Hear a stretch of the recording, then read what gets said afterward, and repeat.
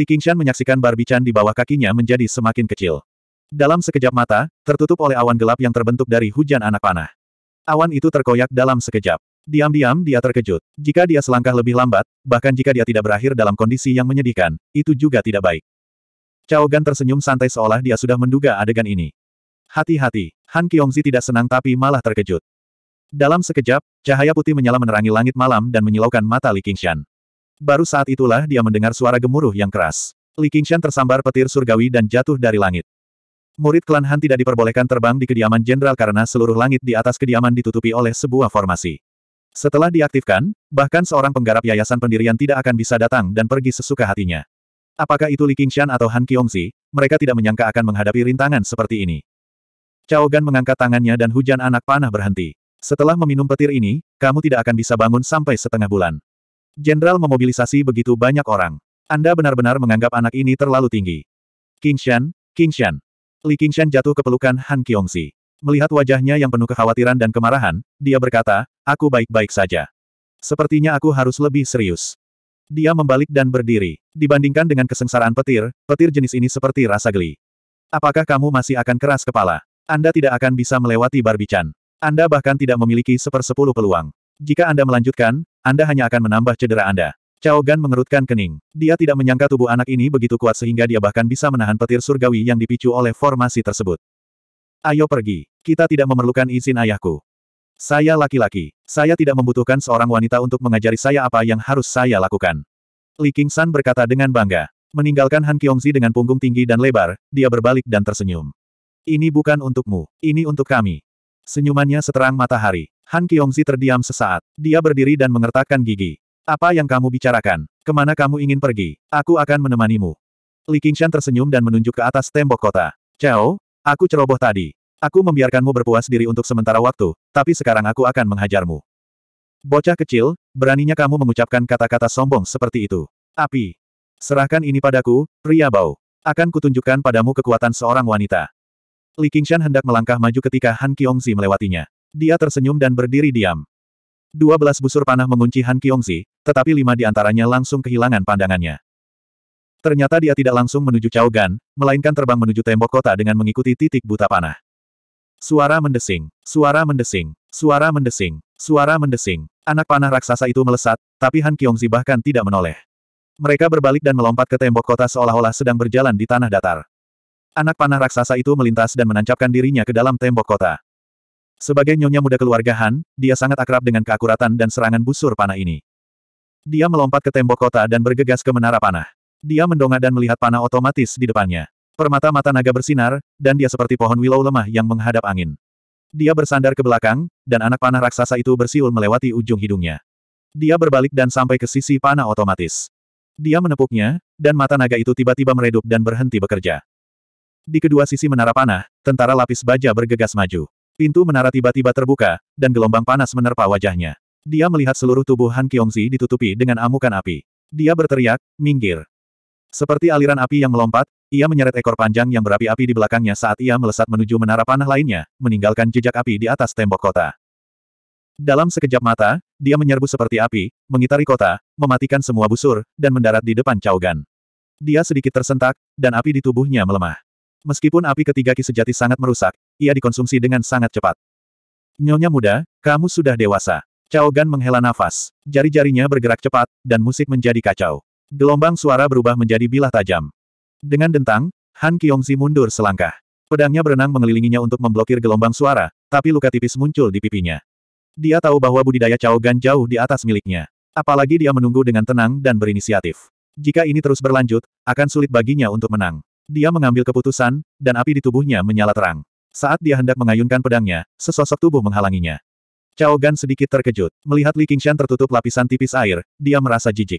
Anda ingin memblokir musik saya hanya dengan layar air. Dia memainkan sitar dengan lebih mendesak, seperti baskom penuh mutiara yang jatuh ke piring batu giok. Namun, lapisan air di Li Qingshan ternyata sangat keras. Gelombang suara menciptakan riak yang tak terhitung jumlahnya, tetapi tidak dapat menembusnya. Setelah mencapai lapisan ketiga penyuruh, efek berbagai mantra air yang diucapkan oleh Li Qingshan menjadi sangat kuat. Menghadapi gelombang suara, dia melangkah maju. Tarian musik surgawi. Chao Gan menekan dan menggenggam, dan tujuh senar sitar direntangkan hingga batasnya. Mereka mengeluarkan gelombang suara yang sangat keras, menembus dan merobek lapisan air. Anda. Sebelum Chao Gan bisa bersuka cita, bayangan hitam menyelimuti dirinya. Li Qingshan melihat ke bawah, dan dua titik merah berkedip. Bang! Li Qingshan tidak berkata apa-apa. Dia mengambil sitar dan mengayunkannya, membantingnya ke arah Chao Gan. Apakah kamu sudah selesai? Chao Gan berputar dan menabrak sekelompok tentara yang bergegas membantu, menghancurkan mereka. Matanya dipenuhi rasa tidak percaya. Bagaimana mungkin seorang praktisi kilapisan ke-8 memblokir tarian musik surgawi miliknya pada jarak sedekat itu? Pakaian Li Qingshan compang camping. Dia meraih dan menarik, memperlihatkan kulit perunggunya, yang sama sekali tidak terluka. Sitar di tangannya bergetar seolah ingin kembali ke sisi tuannya, tapi bagaimana bisa menyaingi kekuatan Li Qingshan. Dia mengerutkan kening dan memutarnya dengan kedua tangannya. Meskipun itu adalah artefak spiritual bermutu tinggi yang langka, sitar itu jauh lebih rapuh daripada senjata seperti pedang, jadi bagaimana ia bisa menahan kekuatan Li Qingshan. Ia segera mengeluarkan erangan yang menyakitkan. Sitarku, seru Chao Gan. Qingshan, Han Qiongzi menekan lengan Li Qingshan dan mengamati ekspresinya. Apakah kamu marah? Bukankah aku sudah bilang jangan berkelahi? Aku tidak bisa melihatnya menyakitimu begitu saja. Han Qiongzi menyentuh pipinya. Dia sudah terbiasa dengan cedera kecil seperti ini sejak dia masih muda. Bahkan dia tidak terlalu memikirkannya. Dia tersenyum. Perasaan diperhatikan sungguh menyenangkan.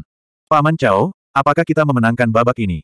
Kamu menang, kamu menang. Kembalikan sitarku, kata Chao Gan. Baiklah, aku akan mengembalikannya padamu. Han Qiongzi menyikut Li Qingshan dengan sikunya. Li Qingshan bersandar ke belakang dan mengangkat lengannya, membuat gerakan melempar yang sempurna. Sitar langsung berubah menjadi titik hitam kecil dan terbang menuruni gunung. Bocah, kamu, Chao Gan buru-buru mengejarnya. Kasihan sekali kau, itulah sumber kehidupan Paman Chao. Han Qiongzi tersenyum. Kamu juga sumber hidupku. Tangan Li Qingshan menyentuh pipinya, dan lukanya hilang. Menjijikkan sekali. Han Qiongzi tersipu, tapi hatinya dipenuhi dengan rasa manis. Aku benar-benar tidak bermaksud seperti itu kali ini. Li Qingshan berkata, merasa bersalah. Keduanya melewati Barbican dan terus maju. Datarannya datar dan tidak ada lagi rintangan. Hanya anggota keluarga Han di gedung yang berbisik. Lihat, itu Li Qingshan. Kudengar dia sangat kuat. Kudengar bahkan para penjaga dan penasihat militer dikalahkan olehnya. Apa, dia hanya berada di lapisan ke-8 pemurnian Ki. Dia pasti menang dengan bantuan nona muda. Gadis seusia benar-benar tidak bisa ditahan di rumah. Cara Han Anjun mengatur keluarga seperti mengatur tentara. Seluruh rumah jenderal seperti kam militer. Ada juga lapangan latihan di depan gerbang kota. Itu digunakan untuk melatih anggota keluarga Han. 300 tentara itu sedang berdiri atau berbaring. Beberapa bahkan berbicara dengan suara pelan. Disiplinnya lemah. Hanya Han Tiyi yang berdiri tegak seperti patung dengan tombak di tangannya. Saat dia melihat Li Qingshan dan Han Qiongzi muncul, dia tiba-tiba berkata. Bersiaplah untuk menghadapi musuh. 300 tentara itu berdiri dan berbalik. Sekilas memang berantakan. Tidak ada formasi untuk dibicarakan. Namun, ada sesuatu yang tak terlukiskan yang menghubungkan mereka. 300 orang dengan tinggi dan ukuran berbeda tampaknya merupakan satu kesatuan. Ini adalah pengawal pribadi ayahku. Mereka adalah elit dari para elit. Kita tidak boleh gegabah. Han Qiongzi melihat ini dan merasa getir di hatinya. Dengan kata lain, jika kita mengalahkan mereka, kita akan bisa melihat ayahmu. Bahkan tanpa pengingat Han Qiongzi, Li Qingshan tidak akan gegabah. Aura pembunuh para prajurit ini membuatnya merasakan bahaya. Kita tidak bisa menang. Kita harus memikirkan cara untuk lewat sini dengan cepat dan mencapai pusat kota. Li Qingshan melangkah maju dan tertawa keras. Kakak ipar, kamu melihat calon iparmu. Mengapa kamu tidak datang dan menyapanya? Saya tidak berpikir Anda akan kembali tidak peduli bagaimana saya membujuk Anda. Ayo lakukan. Penjaga pribadi, temui musuh. Di bawah perintah Han Tiyi, 300 tentara itu diam-diam melonjak ke depan seperti air pasang. Pada saat ini, Li Qingshan dan Han Qiongzi menyerang bersama, mengambil inisiatif menyerang terlebih dahulu. Han Qiongzi menyerang dengan amukan api dan gelombang panas. Li Qingshan berjalan di atas ombak, airnya berputar-putar dan bergelombang. Dua warna air dan api saling berkejaran, maju berdampingan. Mereka bergabung menjadi satu dan bergegas menuju semua prajurit di depan mereka. Tentara lain di sekitar mereka tidak menghentikan mereka dan melewati mereka. Dalam sekejap, keduanya melewati formasi militer. Dengan suara keras, tombak Hanti menyerang seperti seekor naga, bertabrakan dengan pedang dan tinju. Cahaya dari truki yang melonjak menerangi malam. Sebuah kekuatan besar menekan dari tinjunya, dan Hanti merasa dia tidak dapat menahannya. Dia terkejut. Mereka sudah lama tidak bertemu, tapi dia, Li Qingshan, menjadi lebih kuat dan lebih cepat. Aura yang dia pancarkan sungguh menakjubkan. Jika mereka bertarung satu lawan satu, mereka tidak akan menjadi lawannya. Kecepatan peningkatan ini sungguh aneh. Mengapa ayahnya bersikeras menghentikan mereka? Pikiran ini terlintas di benaknya. Li Qingshan dan Han Qiongzi meraung serempak dan menuangkan seluruh ki sejati mereka ke dalamnya. Han Qiongzi terpaksa mundur selangkah demi selangkah hingga dia mencapai gerbang kota. Dia tiba-tiba meninggalkan tombaknya dan meninju dada mereka berdua. Pada saat yang sama, dia berteriak, jebak musuh.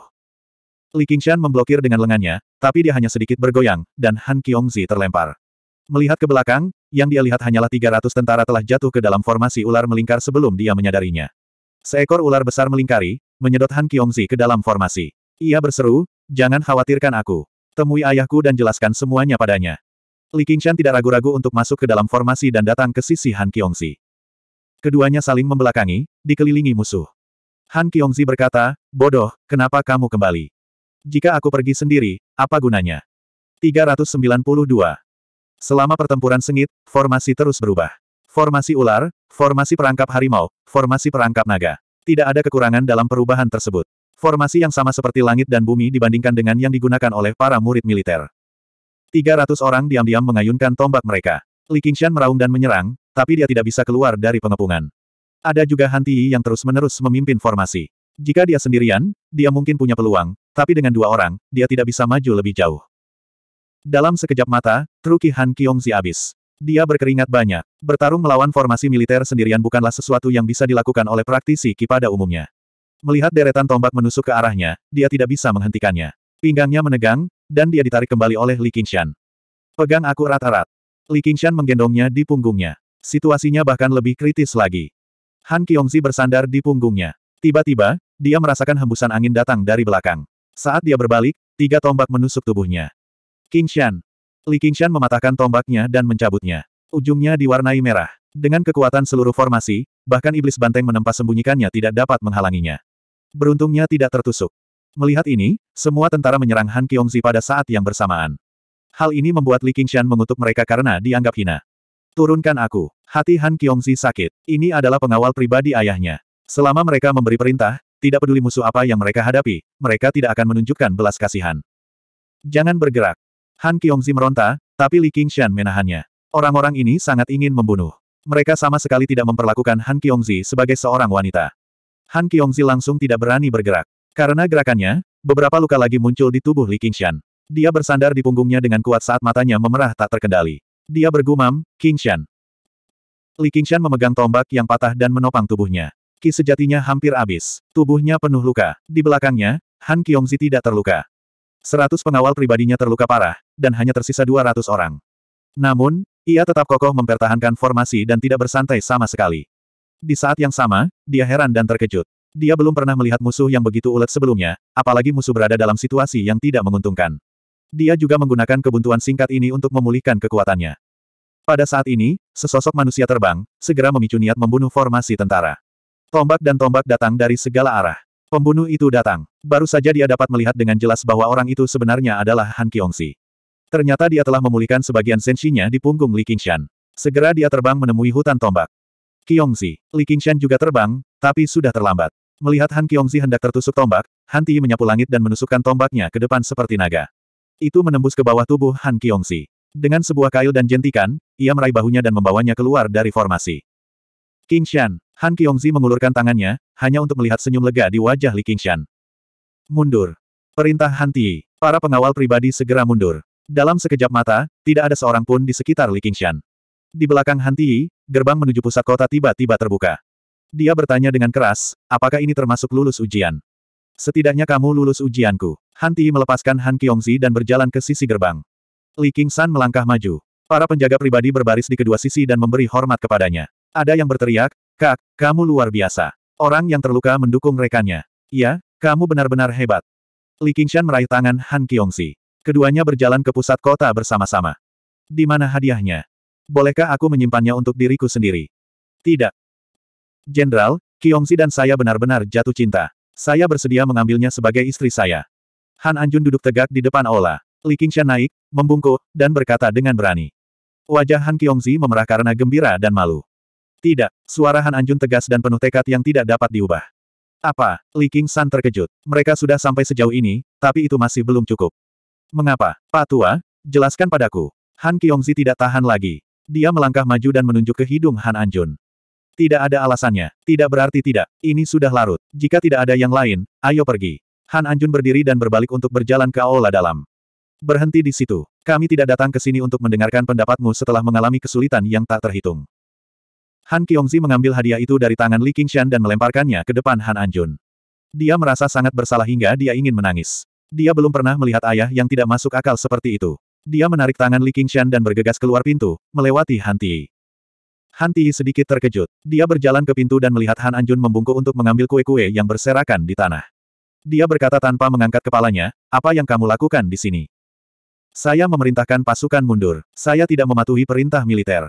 Saya di sini untuk menerima hukuman saya. Bahkan kamu berani untuk tidak menaatiku. Han Anjun menegakkan tubuhnya dan memasukkan sepotong kue ke dalam mulutnya. Dia mengunyah beberapa kali dan menelannya. Rasanya enak. Gadis ini, dia membuangnya begitu saja. Mengapa ayah tidak setuju dengan mereka, ayah? Han Ti menunduk dalam-dalam. Dia sangat bingung. Kamu juga berpikir aku tidak masuk akal. Saya tidak selalu melakukan hal yang benar. Han Ti mengangkat kepalanya karena terkejut. Dia tidak percaya kata-kata itu keluar dari mulut ayahnya. Namun, dia melihat senyuman langka di wajah Han Anjun. Aku dengan sepenuh hati ingin mendidik kalian semua menjadi orang yang berbakat. Aku tidak ingin menjadi penghalang di hati kalian. Bahkan gadis itu tampaknya melakukan apa yang dia mau, tetapi ketika dia menemukan seorang pria, dia tetap harus datang ke rumahku. Dan meminta izinku, mengapa dia memerlukan izinku? Ti, Anda harus memahami bahwa di hadapan para jenderal dan putra-putra mereka, kami adalah kultivator yang pertama dan terutama. Han Ti pergi sambil berpikir.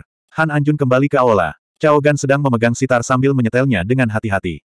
Jenderal, menantu Anda itu terlalu kejam. Dia hampir mematahkan sitar saya. Namun, kekuatannya sangat mengesankan. Mengapa kamu tidak merekrutnya ke dalam fraksi Han? Dia pasti akan sangat membantu di masa depan. Anda menolaknya bukan hanya untuk memberi pelajaran pada nona muda dan tuan muda, bukan? Aku tidak bisa menyembunyikan apa pun darimu. Anak itu bukanlah orang biasa, tapi dia tidak akan pernah tunduk pada orang lain. Di jalur kultivasi, yang ada hanyalah sahabat, bukan kekasih. Jika kita tidak mempunyai cita-cita yang sama, bagaimana kita bisa bertahan satu abad? Kami bersatu karena cinta hari ini, tapi kami pasti akan berpisah karena cinta di masa depan. Gelar suami istri hanya menambah belenggu. Heh, itu cukup adil. Kalau dua bola api disatukan, sepertinya mereka menyala-nyala, tapi sulit untuk bertahan lama. Menurutku, akan sulit bagi mereka untuk bertahan beberapa tahun. Nona muda pasti akan memahami pemikiran Anda di masa depan. Keduanya meninggalkan tanah milik sang jenderal, tetapi mereka tidak kembali ke seratus aliran pemikiran. Sebaliknya, mereka tiba di kota Clear River, di salah satu halaman Han Qiongzi. Han Qiongzi tetap diam sepanjang waktu. Li Qingshan tidak tahu bagaimana membujuknya. Saya pikir itu masih karena kultivasi saya tidak mencukupi. Setelah saya berkultivasi beberapa hari lagi, saya akan menghancurkan pasukan pribadi ayahmu. Dia tidak akan mengatakan apa pun saat itu. Apakah lukamu baik-baik saja? Han Qiongzi akhirnya bertanya. Saya baik-baik saja. Tubuh Li Qingshan selalu tangguh. Setelah menggunakan beberapa teknik penyembuhan air lagi, dia telah pulih sepenuhnya. Kalau begitu, ayo kita menikah sekarang juga. 393. Di kolam teratai di luar tirai, bunga-bunga bermekaran sempurna. Saat angin malam bertiup, wangi bunga tercium di udara. Li Qingshan sedikit terkejut. Wajah Han Qiongzi tegas, agak mirip dengan Han Anjun. Dia membuka bibir merahnya dan berkata lagi, Qingshan, ayo kita menikah. Kamu sudah memutuskan. Li Qingshan memeluknya. Iya, Han Qiongzi mengangguk dan bersandar di dadanya, mendengarkan detak jantungnya yang kuat. Ini adalah suara yang selalu ingin dia dengar. Mengapa kita tidak menunggu lebih lama lagi? Selama kita bersikeras dan membiarkan kakakmu mengucapkan beberapa kata baik, ayahmu akan setuju. Li Qingshan hanya ingin bersamanya saat ini. Namun, komitmen pribadi semacam ini mungkin menyebabkan dia berselisih total dengan keluarganya. Bukan ini yang ingin dia lihat. Tidak, kamu tidak memahami temperamen ayahku. Begitu dia memutuskan sesuatu, bahkan sembilan ekor lembu jantan pun tidak dapat menariknya kembali. Tadi aku bicara seperti itu padanya, ayah pasti marah besar. Dia mungkin tidak akan mengakuiku sebagai putrinya lagi, apalagi menyetujui pernikahan kami. Itu semua salahku. Li Qingshan menepuk kepalanya dan menghela nafas. Ia tidak menyangka pernikahan antara pria dan wanita akan menjadi seperti ini. Mulai sekarang, aku hanya bisa mengandalkanmu. Jangan mengecewakanku. Han Qiongzi dengan erat melingkarkan lengannya di pinggang Li Qingshan, memperlihatkan sedikit kelemahan. Dia meninggalkan keluarga Han, tidak menaati ayahnya, dan kehilangan semua yang pernah dimilikinya dalam satu malam. Kerugian seperti ini jauh dari apa yang bisa dibayangkan oleh orang luar. Namun, dia tidak menyesalinya. Mulai sekarang, pria dalam pelukannya adalah segalanya baginya. Apa? Nona Han, tanpa dukungan keluarga Han, kamu menjadi anak kucing kecil yang lemah. Kalau begitu aku harus menindasmu dengan benar. Li Qingshan tersenyum dan membenamkan kepalanya di lehernya, menghirup aroma dalam-dalam. Kamu berani. Tingkat kultivasimu saat ini tidak setinggi milikku. Kultivasi adalah masalah kecil. Tetap bergantung pada kekuatan. Jika hanya bergantung pada kultivasi, saya bahkan tidak memiliki kualifikasi untuk mengejar Anda. Bagaimana aku bisa membujuk Nona Han untuk kawin lari denganku? Huff, tunggu sampai aku membangun fondasiku. Lihat bagaimana aku akan menanganimu. Bagaimana kamu berlatih. Mereka berbisik. Awan gelap menutupi bulan dan bintang, dan halamannya gelap gulita. Suaranya menghilang dan beberapa lilin merah menyala, menyinari wajahnya yang malu-malu. Aku akan mandi. Dia melepaskan diri dari pelukannya dan berbalik dengan anggun. Pinggangnya berayun saat dia berjalan di balik tirai. Saya juga. Li Qingshan mau tidak mau mengikuti. Han Qiongzi mengangkat tangannya untuk menghentikannya. Tidak, jangan hari ini. Li Qingshan hanya bisa menunggu di luar, menyaksikan cahaya lilin yang berkelap-kelip, mendengarkan hujan malam yang jatuh ke dalam kolam, hatinya seperti air kolam. Puluhan ribu riak menyebar, dan butuh waktu lama untuk menenangkannya. Setelah penantian yang terasa sangat lama, sebuah tangan putih mengangkat tirai manik-manik, memperlihatkan wajah yang cerah dan cantik. Kulitnya sangat lembab, seolah menyerap banyak air. Dia telah berganti pakaian menjadi gaun merah cerah, dan rambut hitam legamnya belum disisir, sehingga basah kuyup dan menutupi bahunya. Kamu membuatku menunggu. Li Qingshan menjemputnya. Tunggu. Apa yang telah terjadi? Sepertinya ada banyak langkah untuk menikah. Saya hanya ingat satu langkah. Langkah yang mana? Untuk memasuki kamar pengantin, Li Qingshan bernyanyi dengan keras, dan langsung pergi ke kamarnya. Mesum, Han Qiongzi cemberut. Suara hujan semakin deras. Di balik tirai tebal, dia terengah-engah. Di tempat tidur, tubuhnya yang seperti batu giok terbentang, memungkinkan dia untuk membelainya dengan sembarangan, dengan penuh semangat menawarkan bibir merahnya. Qiongzi. Li Qingshan tiba-tiba berhenti dan berkata dengan lembut, matanya bersinar. Han Qiongzi bersandar dan memeluk lehernya, membenamkan wajahnya di bahunya. Dia berkata dengan lembut, cintai aku. Li Qingshan memegangi pinggangnya. Dia membungkuk, hanya untuk mendengar erangan pelan di telinganya. Rasanya seperti desahan panjang, penuh suka dan duka. Suasana hening, hanya suara hujan yang masuk ke dalam ruangan, semakin keras, sesekali diiringi beberapa guntur di kejauhan. Bunga teratai bergoyang tertiup angin dan hujan, jantung bunga dipenuhi tetesan air jernih, samar-samar terdengar rintihan bergerak melalui tirai hujan. Setelah semalaman berangin dan hujan, rintik hujan di daun teratai, di bawah sinar matahari terbit di timur, tampak jernih, mengalir dengan tujuh warna, dan bergulung ke dalam kolam. Li Qingshan membuka jendela, meregangkan tubuh, dan melihat ke belakang. Han Qiongzi sedang tidur nyenyak, seolah dia merasakan matahari. Dia berbalik untuk berbaring miring, memperlihatkan punggungnya yang indah, dan beberapa memar di pantatnya yang seputih salju. Memikirkan malam gila tadi malam, Li Qingshan tersenyum tipis, cuacanya sangat bagus. Li Qingshan menutup jendela dan kembali ke tempat tidur. Han Qiongzi membuka matanya sedikit, pertama kali melihat wajah Li Qingshan, hatinya dipenuhi dengan kelembutan dan rasa manis yang tak ada habisnya, dia dengan malas menyandarkan wajahnya di dadanya, jam berapa sekarang? Sudah lama sejak matahari terbit. Li Qingshan mencium keningnya dengan lembut. Oh tidak, penjaga Hawkwolf masih ada urusan yang harus diselesaikan hari ini. Han Qiongzi menopang dirinya, dan seluruh tubuhnya merasa lemah. Serahkan saja pada orang lain untuk mengurusnya. Tidak nyaman bagimu untuk keluar sekarang. Ini semua salahmu. Wajah Han Qiongzi terbakar seperti api, dan dia meninju dadanya. Dia terlalu malu untuk memikirkan kembali. Dia tidak pernah mengira akan ada saatnya dia menjadi begitu tidak terkendali. Baiklah, baiklah. Ini semua salah saya. Mohon tunggu sebentar, Nyonya. Saya akan menyiapkan makanan. Anda harus istirahat lebih lama. Dengan istirahat ini, tiga hari berlalu. Keduanya menempel satu sama lain seperti lem, tak mau dipisahkan sedetik pun. Yang bisa mereka lihat hanyalah satu sama lain, sama sekali melupakan segalanya. Di seratus sekolah pemikiran, para profesor belum datang, tetapi ruang kelas berisik. Sekelompok murid muda, baik pria maupun wanita, berkumpul dan berdiskusi. Benar-benar, saya pikir dia sangat kuat. Bagaimana dengan sekarang? Sekarang, aku tidak tahu. Sudah beberapa hari aku tidak melihat mereka berdua. Kudengar mereka kawin lari. Wow, ada serangkaian tangisan. Secara khusus, mata beberapa murid perempuan berbinar. Zijian, dengar, itu Li Qingshan lagi. Hem, kamu tidak terlihat terlalu sehat. Hua Sengzan menyikut Yu Zijian di sampingnya dengan sikunya. Selama dua tahun terakhir, tubuh Hua Chenglu telah terungkap. Dia telah berubah dari usia remaja menjadi seorang wanita muda di puncak masa mudanya. Dia berada di puncak masa mudanya. Alisnya seperti bulan sabit, bibirnya seperti merah terang, dan kulitnya lembut. Dia muda dan cantik. Wajahnya yang agak mirip dengan Hua Sengsan, seolah menjadi bukti betapa cantiknya wajah Hua Sengsan jika dimiliki oleh seorang wanita. Di seratus aliran pemikiran, dia telah mendapatkan gelar kecantikan terhebat. Dia memiliki banyak pengejar. Sekarang dia duduk bersama Yu Zijian, dia menarik banyak perhatian. Hua Chenglu sudah tidak asing lagi dengan nama Li Qingshan. Namun, mereka tidak melakukan kontak apa pun selama dua tahun terakhir. Bahkan jika dia memiliki perasaan khusus padanya di masa lalu, perasaan itu telah dilemahkan oleh keajaiban hidup. Yang samar-samar dia ingat hanyalah bahwa dia masih berhutang sesuatu padanya. Mungkin dia sudah melupakannya. Oh, tidak apa-apa. Profesornya ada di sini. Yu Zijian terkejut dan menunjuk ke podium. Ruang kelas langsung menjadi sunyi. Hua Chenglu berbalik dan fokus pada ceramahnya. Yu Zijian sedikit mengernyit. Dia seharusnya bukan Niu Juxia, kan? Sebelum mereka kembali dari Gunung Greenfin, Yusukuang telah berulang kali menjelaskan bahwa Li Qingshan sama sekali tidak ada hubungannya dengan Niu Juxia. Namun, baru sekarang dia mau mempercayai hal itu. Dia menghela nafas lega. Jika Li Qingshan bukan Niu Juxia, maka dia tidak akan banyak berhubungan dengannya. Dia bahkan merasa agak sedih untuknya. Mereka jelas sedang jatuh cinta, namun dia tidak bisa mendapatkan pengakuan dari keluarganya. Sungguh menyedihkan. 394 di kedalaman hutan bambu, N kecil duduk di depan tangga sambil memegangi pipinya sambil menunggu.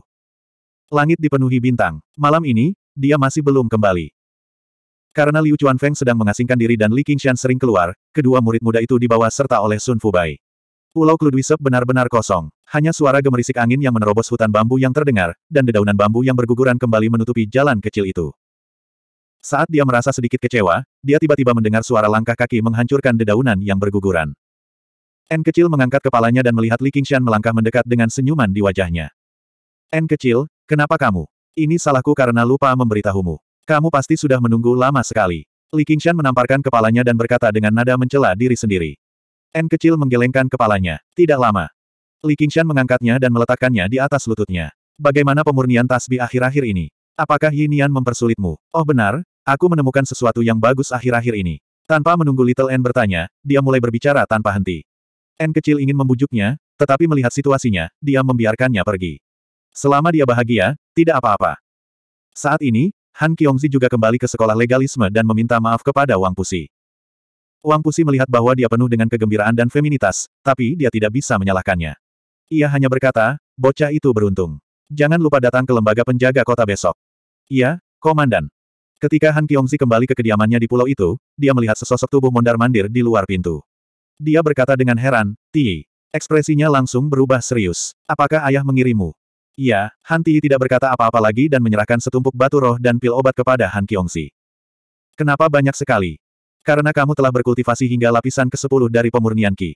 Han Ti tidak berekspresi, tapi dia bisa melihat kegembiraan dan kegembiraan di matanya. Dia bahagia untuknya. Untuk membuka 12 meridian standar, permintaan pil obat secara alami akan meningkat. Ayah, tidak menyalahkanku. Mata Han Qiongzi membelalak tak percaya. Han Ti lalu mengulangi kata-kata Han Anjun. Alasan macam apa itu? Terlalu tidak bertanggung jawab baginya untuk menghentikan pernikahan putrinya hanya karena alasan yang berantakan.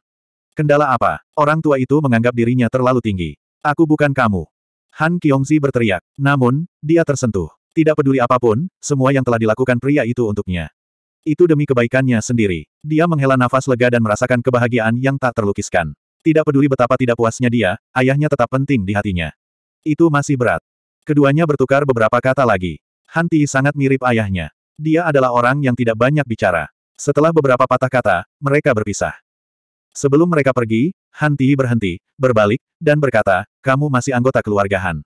Saya harap kamu bisa fokus pada kultivasimu. Aku tidak perlu kamu menceramahiku. Diam saja, kamu harus pergi. Han Qiongzi sedang terburu-buru membagikan kabar baik ini kepada Li Qingshan. Han Ti melihat ekspresinya dan tahu bahwa perhatiannya sedang terganggu. Mengetahui bahwa perhatiannya terganggu, dia menggelengkan kepalanya sedikit. Begitu mereka terlibat dalam urusan cinta, orang-orang seolah menjadi bodoh. Sama seperti betapa pintarnya temannya pada biasanya. Namun, dia terobsesi dengan seorang wanita yang tidak akan pernah bisa dia dapatkan, sehingga membuang banyak waktunya. Setelah Han Ti pergi, Han Qiongzi langsung bergegas ke Pulau Kludwisep. Mereka baru saja berpisah, namun langsung bertemu kembali. N kecil berinisiatif untuk mengucapkan selamat tinggal. Setelah itu, mereka menghabiskan satu malam lagi bersama. Keesokan harinya, wajah Wang Pusi menjadi cekung. Dia menunggu di penjaga Hawkwolf cukup lama, tapi dia tidak melihat jejak Han Qiongxi. Dia menjadi marah dan menaruh ini pada Li Qingshan juga. Dia jelas tidak bersalah. Pada akhirnya, dia menghela nafas panjang. Wanita tidak bisa diandalkan. Hua kecil, sebaiknya kamu segera muncul. Waktu berlalu dengan tergesa-gesa. Dalam sekejap mata, musim panas berlalu dan musim gugur pun tiba. Hujan musim gugur dimulai. Guntur bergemuruh di tempat tinggal terpencil di bawah pulau Contention. Petir bersilangan dan berkelap-kelip, melewati dinding batu dan formasi yang seharusnya tidak mungkin ditembus. Itu seperti hantu dari dunia lain. Beberapa saat kemudian, pintu yang tertutup terbuka lagi, dan Hua Sengsan muncul. Wajahnya yang tampan dan tanpa cacat dipenuhi rasa percaya diri yang luar biasa. Sesosok muncul di benaknya. Setidaknya, saya berhak menjadi bidak catur Anda. Apakah kamu benar-benar harus menyusahkan Nona Hua untuk melakukan perjalanan pribadi untuk hal seperti ini? Li Qingshan menerima undangan dari Hua Chenglu dan mengamati wanita di hadapannya. Benar saja, wanita telah banyak berubah antara kewanitaan dan kewanitaan. Ketika mereka pertama kali bertemu, dia hanyalah seorang gadis kecil yang tidak punya apa-apa, tapi sekarang, dia telah menjadi sangat cantik. Kalian berdua adalah teman baik kakakku. Kakakku bilang dia tidak bisa mengundangmu secara pribadi, jadi dia benar-benar minta maaf, jawab Hua Chenglu dengan sopan, menunjukkan sikap seorang wanita dari klan besar. Chenglu, kenapa kamu tidak berbicara terus terang seperti sebelumnya? Han Qiongzi meraih tangannya sambil tersenyum dan menariknya ke dalam pelukannya, mencubit pipi lembutnya. Han Qiongzi selalu memperlakukan Hua Chenglu sebagai adik perempuannya. Dia sering bermain dengannya sejak mereka masih muda, jadi mereka sangat dekat. Jangan macam-macam, kak. Aku hanya takut kalau terlalu mesra, kamu akan cemburu. Hua Chenglu sedikit tersipu dan menatap Li Qingshan sambil terkikik. Semua orang di seratus aliran pemikiran tahu tentang hubungan mereka sekarang, tapi perkembangan terakhir juga melebihi ekspektasi semua orang. Tidak ada rencana menyenangkan dari mereka untuk memberontak melawan keluarga Han atau kawin lari. Han Qiongzi tetap pulang ke rumah pada waktu yang seharusnya, sementara Li Qingshan bahkan pergi ke pulau perang besar untuk berlatih seni bela diri seperti biasa. Dia sepertinya tidak memiliki konflik apa pun dengan calon ayah mertuanya, Han Anjun. Begitu saja, rumor tersebut malah mereda. Bagi para kultivator, menikah dan menjadi mitra kultivasi adalah hal yang biasa. Mereka tidak memiliki formalitas sebanyak manusia. Gadis kecil, kamu masih bukan tandinganku. Li Qingshan menyimpan undangan itu. Baiklah, aku pasti akan berada di sana ketika waktunya tiba. Orang itu akhirnya mencapai yayasan pendirian. Saudara pasti akan menjadi seorang kultivator yang mengesankan. Hua Chenglu dipenuhi dengan rasa bangga. Katakan padaku, baru saja, apakah kamu mengincar Chenglu? Setelah Hua Chenglu pergi, Han Qiongzi mencengkeram kerah Li Qingshan dan menungganginya.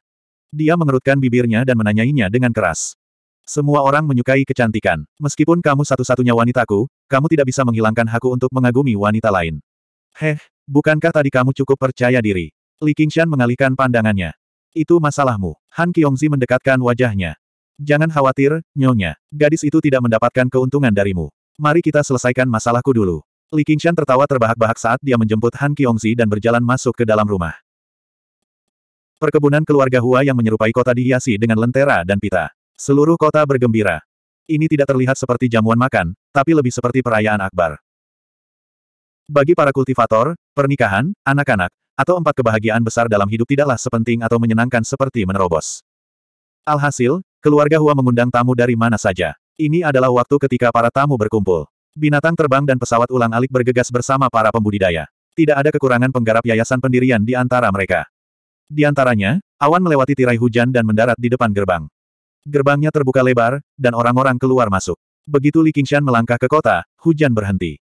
Formasi di atas kota diaktifkan, dan hujan mengalir di sepanjang penghalang setengah bola yang tak terlihat. Di bawah penerangan lentera kota, pemandangannya sangat indah. Han Qiongzi mengusir pelayan yang datang untuk memimpin jalan. Pelayan itu dengan jelas mengenali Han Qiongzi, jadi dia pergi sambil tersenyum tanpa meminta undangan. Dengan sangat akrab, Han Qiongzi mengikuti jalan dan koridor yang berkelok-kelok dan tiba di depan bangunan mirip menara di pusat kota. Tampak seperti pohon api yang megah dan menjulang tinggi. Di bawah pohon api, kedua bersaudara, Hua Sengzan dan Hua Chenglu, secara pribadi menerima tamu di gerbang. Mereka berdua berpakaian bagus dan berdiri di bawah lentera yang megah. Mereka tampak seperti sepasang makhluk abadi, dan semua tamu menghela nafas kagum. Khususnya, Hua Sengzan selalu menjadi kecantikan yang langka di dunia. Setelah berhasil mendirikan yayasan, sikapnya semakin romantis. Para kultivator wanita yang lewat pada dasarnya semua menatapnya. King Shan, Qiongzi, kamu di sini. Saat Hua Sengzan melihat Li Qingshan dan Hua Chenglu, dia menyambut mereka dengan senyuman. Dia tidak menjadi sombong karena peningkatan budidayanya. Dia berbudaya dan halus seperti sebelumnya, membuat orang merasa seperti sedang mandi di angin musim semi. Senyumannya bahkan mengandung ketulusan. Meski sudah lama sekali sejak terakhir kali mereka bertemu, mereka tidak merasa seperti orang asing lagi. Sebaliknya, mereka merasa lebih dekat satu sama lain. Benar, kamu tidak keluar setelah sekian lama. Aku bahkan mengira kamu mati di sana. Li Qingshan menepuk bahunya sambil tersenyum, tapi Han Qiongzi melakukan hal yang sama. Ini adalah kesempatan yang menggembirakan. Jangan mengatakan hal-hal yang tidak membawa keberuntungan seperti itu. Tatapan tersenyum Hua Sengzan berpindah di antara mereka berdua. Kalian berdua, seperti yang diharapkan. Saat aku pertama kali mendengarnya, kalian benar-benar membuatku takut. Siapa yang memberitahuku apa gunanya memiliki seorang pria? Aku baru saja menganggapnya menyedihkan. Wajah Han Qiongzi memerah, tapi dia masih berusaha membela diri. Dan siapa yang memberitahuku bahwa aku tidak tahu apa itu cinta yang mendalam? Li Qingshan terbatuk-batuk. Aku hanya bermain-main saja. Jadi, kamu hanya bermain-main denganku. Kamu salah dengar. Aku bilang aku masih muda dan cuek. Aku masih muda dan cuek. Hua Sengzan tertawa keras dan menepuk bahu Li Qingshan. Lalu seberapa besar kamu memahamiku sekarang? Li King San mengangkat alisnya. Kamu masih belum lupa. Hua Sengzan bertanya, benarkah? Apa yang aku lupa? Hua Chenglu dan Han Qiongzi menyela. Dengan intuisi tajam para wanita, mereka merasakan ada sesuatu yang tidak beres. Sulit untuk mengatakannya. Li Qingshan mencibir dan bertukar pandang dengan Hua Sengsan. Keduanya berbagi pemahaman diam-diam. Siapa sangka persahabatan pertama mereka sebenarnya karena sama-sama menyukai wanita yang sama. Kamu boleh masuk dulu. Aku akan menemuimu nanti. Saat ini, lebih banyak tamu yang datang. Hua Sengsan berkata dan pergi menerimanya. Katakan padaku dengan jelas, ada apa? Mereka berdua berjalan masuk ke dalam gedung. Han Qiongzi melanjutkan pertanyaannya, tetapi Li Qingshan hanya menghindari pertanyaan itu. Ketika dia menjadi cemas, dia berkata, ini adalah rahasia antara laki-laki. Apa yang kamu, seorang wanita, ikut campur? Li Qingshan berhenti dan melihat ke belakang. Wajah Hua Sengzan berseri-seri saat dia menyambut dan mengantar orang pergi. Ciri-cirinya sangat indah dan tampan. Bahkan laki-laki pun akan tergerak. Langit telah memberkatinya dengan kecantikan yang begitu menawan, namun ia kebetulan jatuh cinta pada seorang wanita yang tidak dapat ia peroleh. Apakah ini juga lelucon dari surga? Dia jelas tidak akan lupa. Bagaimanapun, dia telah meninggalkan kenangan yang begitu mendalam. Namun, dia tidak perlu memikirkan hal itu sepanjang waktu. Mengasihani orang sebelum dia adalah hal yang paling penting, bukan? Dia tersenyum sambil menenangkan Han Qiongzi yang tidak bahagia. Pada akhirnya, dia masih tidak bisa memahami pikiran orang yang sedang jatuh cinta. Pada saat ini, sosok familiar muncul di pintu. Wajahnya suram, dan pakaian hijaunya melayang-layang. Fu Qingjin. 395. Fu Qingjin berdiri sendirian dengan pakaian hijaunya yang compang camping. Pada pandangan pertama, dia tampak seperti pendekar pedang yang hina, tapi dia langsung menarik perhatian semua orang. Bahkan karakter utama malam itu, Hua Sengzan, tidak mampu bersaing dengannya untuk menjadi pusat perhatian. Dibandingkan dengan istana koleksi pedang, keluarga Hua tampak seperti taipan lokal. Meskipun mereka dikenal sebagai klan terhebat di prefektur Clear River, terdapat 81 prefektur di seluruh provinsi Green, namun hanya ada satu istana koleksi pedang yang ada. Itu Fu Qingjin dari istana koleksi pedang. Pedang di tangannya adalah salah satu dari sepuluh pedang terkenal dari istana koleksi pedang, pedang reruntuhan hijau. Dia sosok yang sangat kuat. Han Qiongzi memperkenalkan dengan lembut.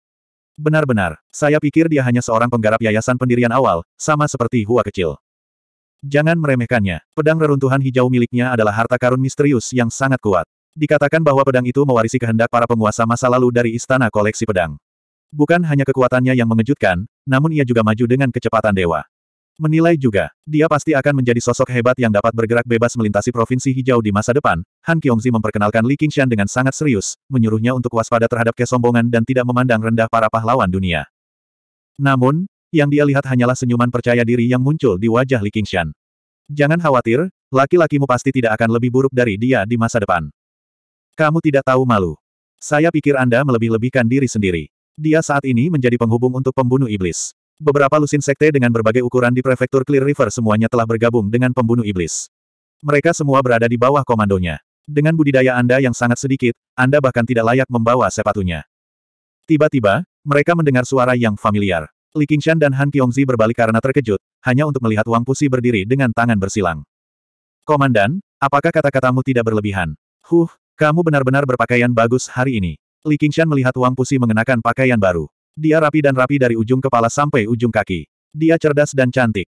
Aku sudah mengatakannya sebelumnya. Kamu akan mencapai sesuatu. Fu Qingjin mempelajari Hua Sengsan. Kalau begitu terima kasih atas kata-kata baik Anda, Tuan. Hua Sengsan sopan tapi menjaga jarak.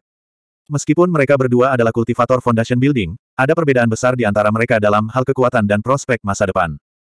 Kunjungan rekan Daois Fu benar-benar memberi pencerahan pada tempat tinggalku yang sederhana. Bukan lagi giliran Hua Sengsan yang berbicara. Itu adalah ayah Hua Sengsan. Kepala klan Hua secara pribadi keluar untuk menyambut mereka dengan wajah penuh senyuman.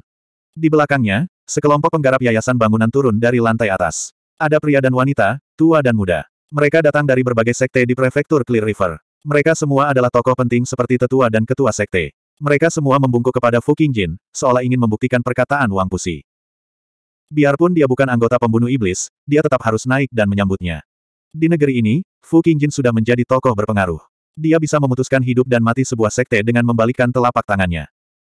Ah, bukankah itu Master Xiao dari sekte pakaian Vermilion dan tetua kedua lembah awan merah? Dengan banyaknya penggarap yayasan pendirian yang muncul sekaligus, semua praktisi Qi menghela nafas takjub ketika mereka berdiskusi di antara mereka sendiri. Fu Qingjin tampak diselimuti oleh lingkaran cahaya yang mempesona, sedangkan Hua Sengsan malah menjadi sosok pinggiran. Li Qingsan tersenyum. Komandan, karena dia sangat kuat, kenapa kamu tidak cepat menerimanya? Aku akan menerimamu. Pembunuh iblis adalah pembunuh iblis, dan penjaga Hawkwolf adalah penjaga Hawkwolf. Wang Pusi meliriknya sebelum pergi dengan gusar. Di antara kerumunan orang yang berhenti dan melihat ke atas. Dia sangat mencolok, dan kerumunan memberi jalan untuknya. Ada apa dengan Wang tua hari ini? Kenapa dia begitu marah? Li King San bertanya dengan bingung. Kamu tidak terlalu memperhatikan masalah penjaga Hawk Wolf, jadi kamu tidak tahu. Ada kasus baru-baru ini yang ada hubungannya dengan Sekte Pakaian Vermilion. Setiap murid Sekte Pakaian Vermilion harus menyelesaikan misi percobaan ketika mereka meninggalkan sekte tersebut. Itu disebut, menodai pakaian Vermilion dengan darah, dan mereka harus membunuh seratus orang secara pribadi. Misinya terdengar berdarah-darah, tapi tak masalah jika digolongkan sebagai menegakkan keadilan. Ada banyak sekali bandit dan bandit di 1500 km prefektur Clear River. Menemukan Sekte Jianghu secara acak dan membunuh beberapa pada dasarnya tidak akan sia-sia. Namun, ada seorang murid Sekte Pakaian Vermilion yang pernah bekerja sebagai sopir kandang di sebuah keluarga kaya ketika dia masih muda dan diintimidasi. Akibatnya, dia menggunakan misi ini untuk kembali dan membunuh seluruh keluarga. Namun, Kalaupun dia memasukkan laki-laki, perempuan, muda, tua, dan pelayan perempuan, hanya ada 71 di antaranya. Rasa haus darahnya muncul, dan dia membunuh lebih dari 30 tetangganya, sehingga berjumlah 100 orang. Hal ini membuat khawatir penjaga Hawkwolf di kota, yang mengirim penjaga serigala hitam untuk menangkapnya. Namun, mereka tidak pernah menyangka kultivasi muridnya begitu mengesankan. Dia membunuh dua penjaga serigala hitam lainnya sebelum melarikan diri kembali ke sekte pakaian Vermilion. Ini melanggar tabu besar penjaga Hawkwolf. Wang Pusi secara pribadi mengunjungi sekte pakaian Vermilion untuk menuntut pengembalian tahanan. Di masa lalu, tidak ada sekte yang berani menentang pengawal Hawkwolf. Yang bisa mereka lakukan hanyalah menyerahkan muridnya dengan patuh. Namun, sekte pakaian Vermilion telah bergabung dengan pembunuh iblis. Ada beberapa lusin sekte di depan mereka, dan ada istana koleksi pedang di belakang mereka. Mereka tidak lagi menganggap serius Komandan Scarlet Hawk, Wang Pusi. Master Sekte Pakaian Vermilion menyangkal bahwa dia adalah murid Sekte Pakaian Vermilion. Dia meminta Wang Pusi untuk mencari di tempat lain. Selain Fu Qingjin, Master Sekte Pakaian Vermilion menatap punggung Wang Pusi dari jauh. Bibirnya melengkung menyeringai. Penjaga Hawkwolf masih ingin berjalan mondar-mandir seperti sebelumnya, tapi mereka salah paham dengan situasinya. Para master dan tetua sekte lainnya juga berpuas diri. Penggarap seharusnya mengikuti kata hati mereka dan melakukan apa pun yang mereka inginkan, namun mereka terus-menerus ditahan oleh penjaga Hawkwolf. Benar-benar tidak menyenangkan. Hari ini, mereka akhirnya bisa mengangkat kepala. Semua orang mengantar Fu Qingjin kembali ke atas. Han Qiongzi berkata, bukan hanya itu saja. Akhir-akhir ini kasus-kasusnya sangat sulit ditangani. Selama melibatkan sekte, semuanya tidak akan terselesaikan. Pantas saja komandannya begitu marah. Dia melihat sekeliling sebelum diam-diam berkata kepada Li Qingshan, sekarang Hua kecil telah muncul dari budidaya terpencil, mungkin akan ada sesuatu yang besar yang akan segera terjadi. Li Qingshan menggigil di dalam. Perang antara manusia dan daemon belum dimulai, namun pertempuran di permukaan telah dimulai. Mungkin juga tidak akan ada kedamaian di masa depan. Permukaan air yang tenang selama beberapa milenium mulai beriak. Konflik antara manusia dan daemon hanyalah pusaran terbesar, namun telah menyebabkan pusaran yang tak terhitung jumlahnya dengan arus bawah yang tersembunyi. Pusaran apa pun bisa melahap nyawa. Jangan takut, aku akan melindungimu. Han Qiongzi dapat dengan jelas merasakan kegugupan Li Qingshan, jadi dia mengusap kepalanya sambil tersenyum. Keduanya sedikit menggoda satu sama lain. Namun, Han Qiongzi salah tentang sesuatu. Li Qingshan gugup bukan karena dia takut, tetapi karena dia bersemangat. Dia bukannya tidak menyukai kehidupan yang damai, tapi dia sangat ingin memperlakukan dunia ini sebagai surganya petualangan. Apakah semua tamu sudah datang? Hua Sengzan bertanya pada adiknya. Beberapa belum datang, tapi mungkin belum datang. Sudah waktunya. Ayo masuk. Hua Chenglu melihat sekilas daftar nama itu.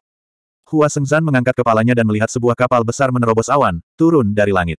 Dia melihat lambang di kapal, dan matanya berbinar. Dia segera memerintahkan, aktifkan formasi. Kiongzi, lihat siapa yang datang. Hua Sengzan tiba bersama seorang pria muda yang pendek dan tidak memiliki kepemilikan. Dia mengenakan jubah sarjana dan sama sekali tidak terlihat anggun. Saat dia berdiri di samping Hua Sengzan, Li Qingshan langsung teringat pada Wu Dalang dan Simen King. Namun, tidak ada yang berani meremehkan Wu Dalang ini, karena ia telah mencapai yayasan pendirian. San Cheng, kamu sudah kembali dari Pine So Academy. Han Qiongzi juga berseri-seri dengan gembira. 396. Jiang San Cheng terkekeh, tapi dia tidak bisa menyembunyikan kesombongan di wajahnya. Di antara teman-temannya di masa lalu, latar belakangnya adalah yang terburuk, dan bakatnya juga tidak terlalu bagus, namun ia kebetulan masuk Akademi Pine Soh dan berhasil dengan yayasan pendirian terlebih dahulu. Dia secara khusus meminjam kapal Soaring Dragon dari tuannya kali ini untuk menemui teman-teman lamanya. Ini adalah saat yang mulia baginya untuk kembali ke kampung halamannya. Dia sangat menikmati ekspresi terkejut Hua Chenglu di pintu masuk. Baru beberapa tahun berlalu sejak terakhir kali dia melihatnya, tapi dia benar-benar menjadi sangat cantik. Saat dia melihat Han Qiongzi lagi, matanya berbinar. Dia masih tinggi dan langsing, percaya diri dan bersemangat. Dia dulunya agak jantan, tapi sekarang dia memiliki pesona wanita dewasa. Hua kecil mendirikan sebuah yayasan, jadi tentu saja aku harus kembali dan melihatnya. Di mana Ti? Pikiran Jiang Sancheng segera kembali ke masa lalu. Saat itu, dia bermain-main dengan teman-temannya dan sering dipandang rendah oleh orang lain. Hanya mereka bertiga yang tidak pernah meremehkannya, dan dia bahkan sangat menyemangatinya. Hua Sengzan berkata, kamu tahu bahwa Ti paling membenci situasi seperti ini. Siapa ini? Jiang Sancheng melihat sekeliling dan melihat Li Qingshan berdiri bersama Han Qiongxi. Mereka tampak sangat dekat, yang membuatnya mengerutkan kening. Ini Li Qingshan, murid utama sekolah novel dan laki-laki Qiongxi, Hua Sengzan memperkenalkan sambil tersenyum. Apa? Jiang Sancheng melihat bagaimana Han Qiongxi sedikit tersipu, tapi dia tidak menunjukkan tanda-tanda keberatan. Hatinya tenggelam. Qiongxi, kakakmu sudah menikah. Kenapa kamu tidak memberitahuku? Hua Sengzan berkata, bukan hanya kamu. Tak satu pun dari kami yang diberitahu. Apa yang sedang terjadi? Kakak babi hutan, ada sesuatu yang tidak kamu ketahui, Hua Sengzan menceritakan keseluruhan ceritanya sambil terkikik. Anda hanya seorang penggarap yayasan pendirian. Kamu masih jauh dari bisa mendapatkan desain apa pun pada kakak Han. Babi hutan, adalah nama panggilan Jiang Sancheng di masa lalu. Di masa lalu, Hua Chenglu meremehkan Jiang Sancheng. Dia menganggapnya pemalu dan sangat murung. Hua Sengzan tidak ambil hati saat dia menunjukkan sikap yang begitu mengesankan hari ini.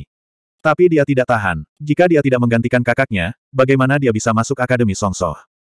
Kamu, kamu sudah melakukannya. Meskipun Jiang Sancheng telah berkultivasi ke tingkat di mana dia dapat mengendalikan energi vitalnya, wajahnya masih langsung memerah. Seolah-olah dia tersambar petir. Dia ingin kembali ke kampung halamannya dalam kejayaan dan memenuhi keinginan lamanya, mantan kekasih impiannya. Dia telah menjadi wanita orang lain. Bodoh, kenapa kamu tidak mengatakan apa-apa? Ini temanku, Jiang Sancheng. Han Qiongzi sedikit tersipu. Dia menjadi lebih cantik, bertemu Li Qingshan. Li Qingshan tersenyum sepanjang waktu. Dia bisa mengetahui apa yang dipikirkan Jiang Sancheng dengan sekali pandang. Nak, kamu datang sangat terlambat.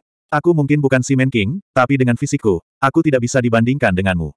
Setidaknya dia adalah Wu Erlang, jauh lebih baik darimu, saudaraku. Dia mengatupkan tangannya dan berkata, Li Qingshan menyapa sesama Jiang. Di masa depan, saya pasti akan membuat Paman Han menyetujui pernikahan ini dan mengadakan pernikahan akbar untuk Yongxi. Ketika saatnya tiba, saya pasti akan memberitahu semua orang. Saya harap sesama Jiang bisa datang juga. Qiongzi, bukankah wawasanmu terlalu buruk? Kultivasi orang ini sangat rendah, jadi tidak heran Paman Han tidak setuju. Murid utama manakah dia? Novelis. Apakah aku mendengarnya dengan benar? Bukankah sepertinya sembarang orang bisa menjadi murid utama? Ekspresi Jiang Sancheng menjadi semakin jelek. Praktisi kilapisan ke-8 sebenarnya berani berbicara kepadanya seperti itu. Apakah dia pikir dia bisa berdiri sejajar denganku hanya karena dia terhubung dengan Qiongzi? Khususnya, sikap kemenangannya membuatnya merasa seperti ada tulang ikan yang tersangkut di tenggorokannya. Aku bisa membunuh sepuluh orang sepertimu hanya dengan satu lambaian tanganku. Jiang Sancheng, apa yang kamu bicarakan? Sebelum Li Qingshan bisa mengatakan apa pun, ekspresi Han Qiongzi berubah. Dia berseru dengan dingin, bukan hakmu untuk memberitahuku siapa yang aku suka. King San, ayo pergi. Dia menarik Li Qingshan, hendak masuk ke dalam gedung. Dia mencoba menariknya menjauh, tapi dia tidak bergeming sama sekali. Dia mengutuk dalam hati. Pria ini bukanlah seseorang yang bisa diejek. Li King San terkikik. Orang sembarangan bisa seperti itu, tapi bukan babi hutan. Sebaiknya Anda kembali dan bercermin, Tuan. Anda memengaruhi nafsu makan saya dengan berdiri di sini. Jiang Sancheng sangat marah. Wajah Li Qingshan menyatu dengan wajah mengejek yang tak terhitung jumlahnya di kepalanya. Dia hendak menyerang balik, tapi Hua Sengsan menangkapnya dan menariknya ke atas. Cheng San, lepaskan aku. Hari ini adalah perayaanku, jadi tidak bisakah kamu memberiku sedikit wajah? Qiongzi akan sangat membencimu karena telah melukainya. Jiang Sancheng melirik Li Qingshan dengan tajam. Niat membunuh muncul di matanya. Jika dia memiliki kesempatan, dia pasti akan membuat anak ini mati dengan mengenaskan. Li Qingshan memulihkan senyum diamnya. Saya tidak akan tunduk pada level seseorang yang akan mati. Han Qiongzi berkata dengan kesal, apakah kamu akan mati jika kamu mengatakan sesuatu yang kurang? Saya akan. Tidak bisakah kamu menjadi sedikit lebih dewasa? Saya tidak bisa. Li Qingshan mengangkat alisnya. Saya seorang pria berusia 18 tahun. Saya berada di usia remaja dan kekanak-kanakan. Kau cemburu. Han Qiongzi terkejut. Dia mengamati ekspresinya dengan penuh minat. Hah, hanya karena babi hutan itu. Li Qingshan berkata dengan nada meremehkan. Dia tetaplah temanku. Tidak bisakah kamu bersikap lebih sopan? Dia benci kalau orang memanggilnya seperti itu. Bukannya aku memanggilnya seperti itu dulu. Siapa sih yang mau berteman dengannya? Kau memanggilku hantu. Benar saja, kamu cemburu. Apa pun, aku mengerti. Laki-laki kecil. Jika aku menemukan seorang wanita dan menyebutmu jelek dan tidak pantas untukku, kamu juga akan merasa tidak senang, bukan? Bisakah kamu menemukannya? Han Qiongzi berkata dengan nada meremehkan. Cheng Lu, semuanya terserah padamu. Hua Chenglu mengikuti mereka berdua. Saat dia mendengarkan dengan penuh minat, Li Qingshan tiba-tiba berbalik. Ekspresinya seakan berkata, aku serahkan tugas penting ini padamu. Saya tidak akan berani. Hua Chenglu menjulurkan lidahnya. Dia sangat lucu. Aku melihatmu tumbuh dewasa. Kamu bahkan tidak mau membantuku dengan hal seperti ini. Aku ingat kamu masih berhutang sesuatu padaku. Hah, siapa yang Anda lihat tumbuh dewasa? Kamu jelas-jelas orang yang berhutang padaku.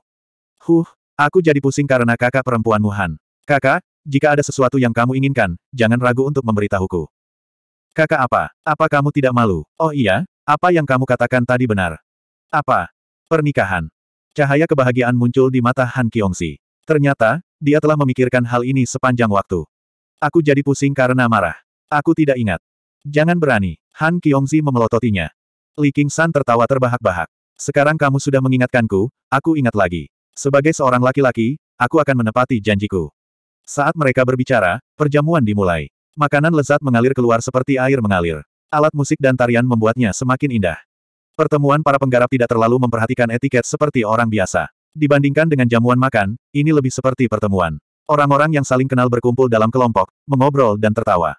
Han Qiongzi mengobrol dengan sekelompok murid legalis. Saat Li Qingshan merasa bosan, dia tiba-tiba melihat sekelompok orang di sudut.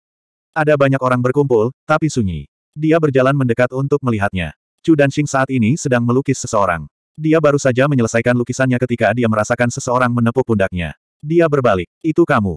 Ayo, kita minum. Chu Danxing tidak menolak tawaran itu, meminta maaf kepada semua orang. Dia mengikuti Li Qingshan ke samping dan menghela nafas. Terima kasih.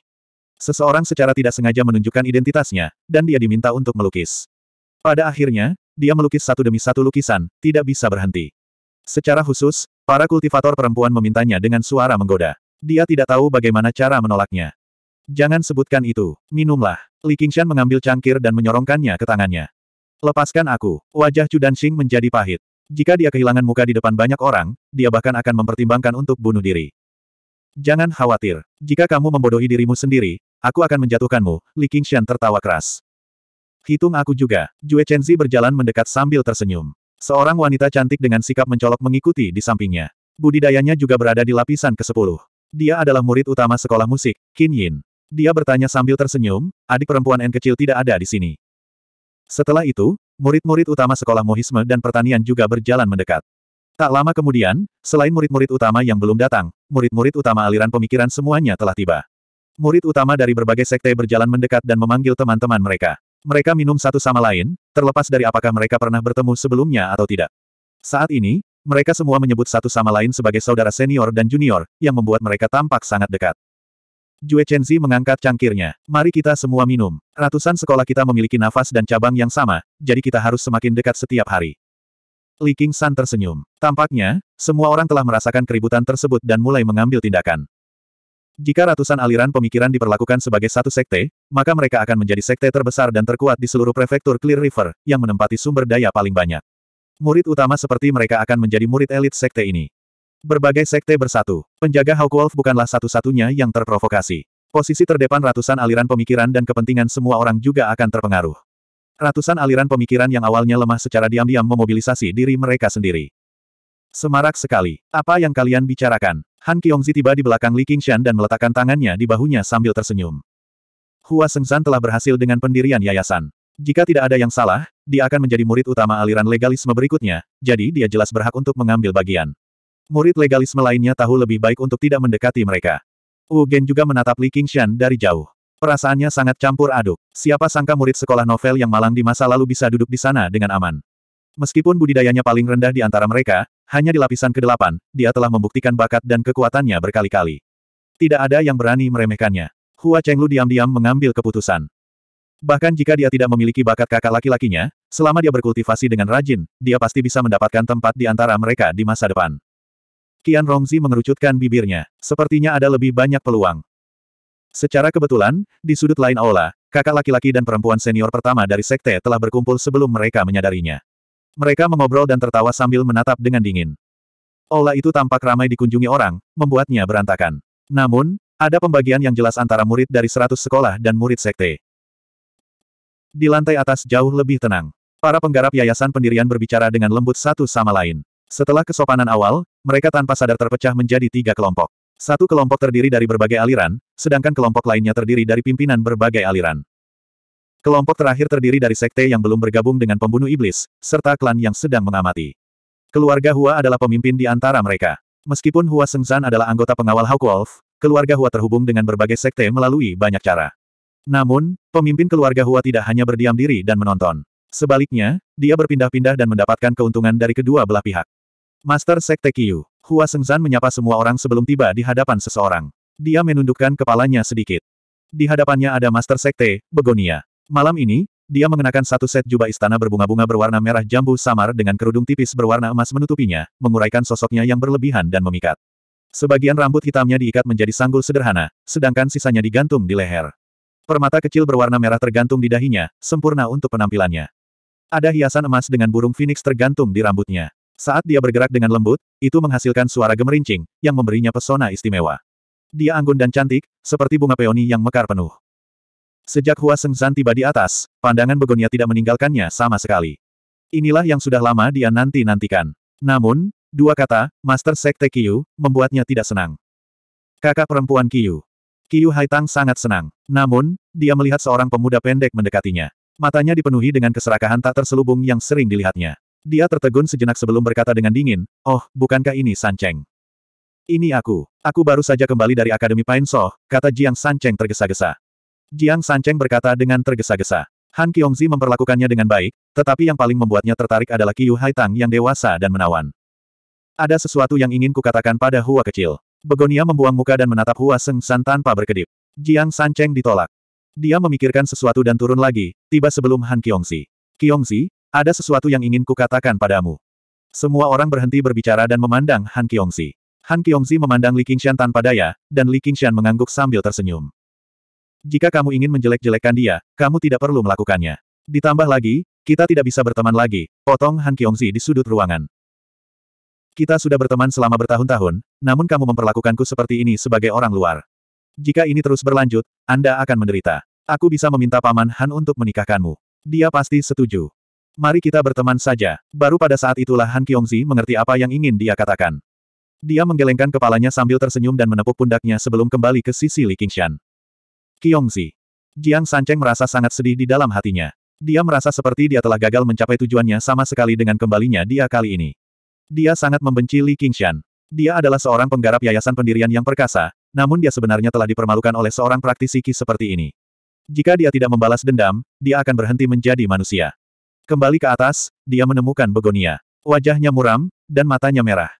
Sanceng, aku ingin kembali. Suruh aku pergi. Ah, baiklah. Jiang Sanceng sangat gembira. Sebagai seorang penggarap yayasan, mengapa dia membutuhkan seseorang untuk mengirimnya pergi? Bukankah ini semacam petunjuk? Hua Sengzan mengulurkan tangannya.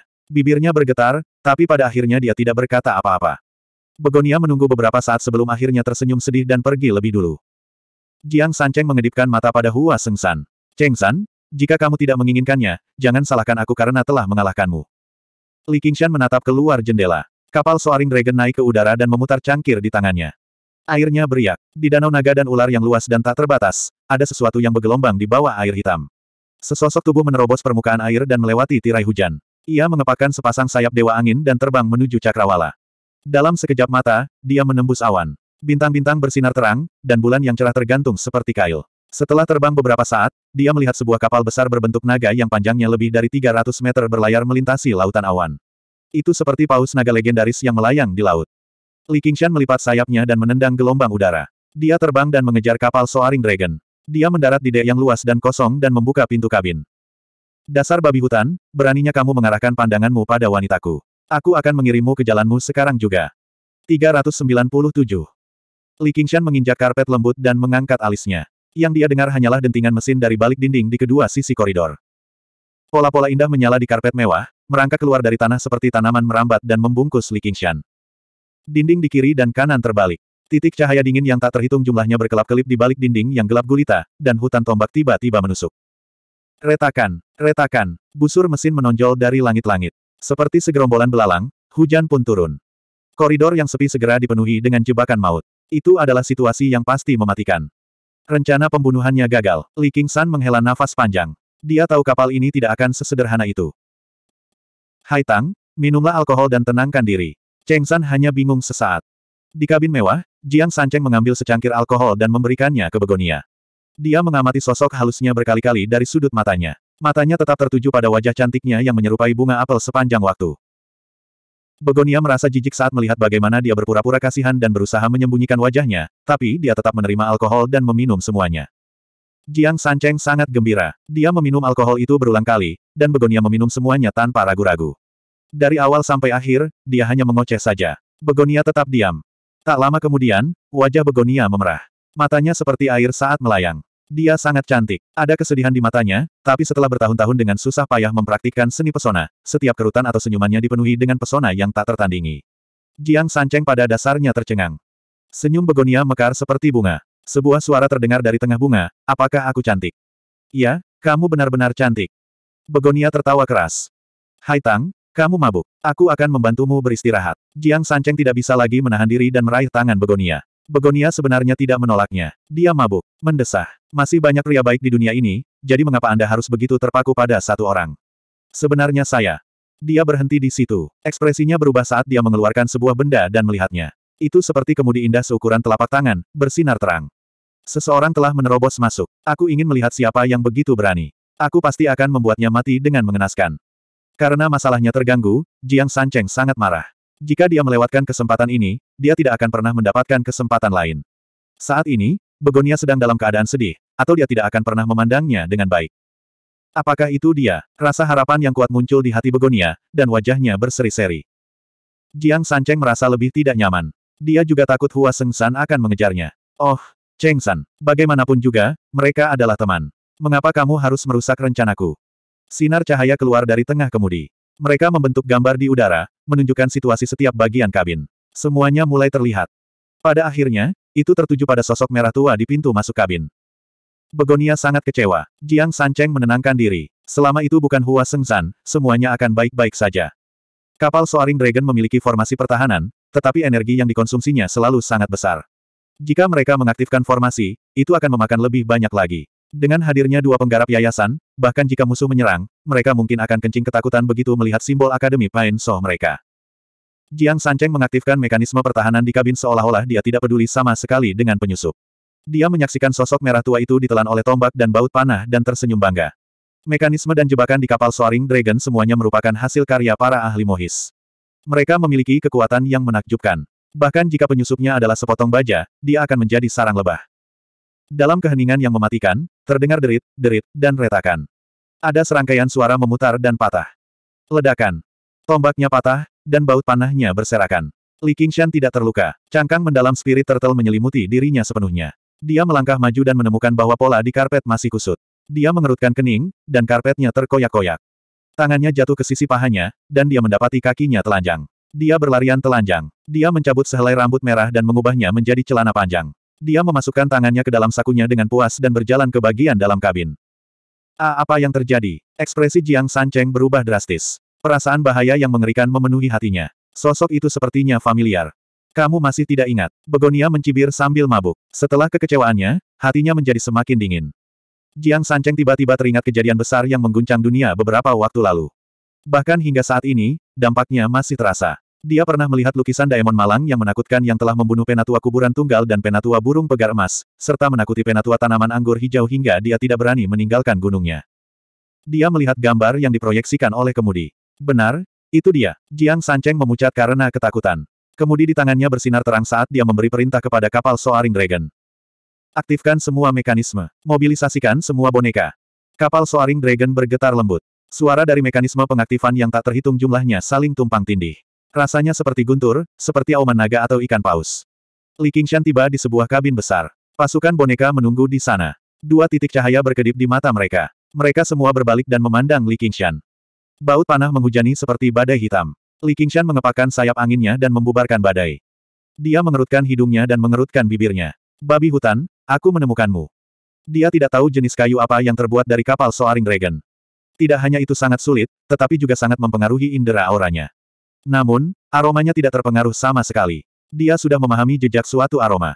Aroma aneh yang tidak menyebar. Dengan cepat, Li Qingshan mengikuti aroma itu dan maju dengan pesat. Babi Jiang ini sungguh menyimpang. Dia bahkan menggunakan parfum. Berdebar, berdebar, berdebar, berdebar, pintu kabin tertutup di hadapannya. Ledakan, ledakan, ledakan, Li Qingshan menghancurkannya satu per satu. Di belakangnya, sekelompok boneka mengejarnya tanpa henti. Di depan, berbagai jebakan muncul satu demi satu.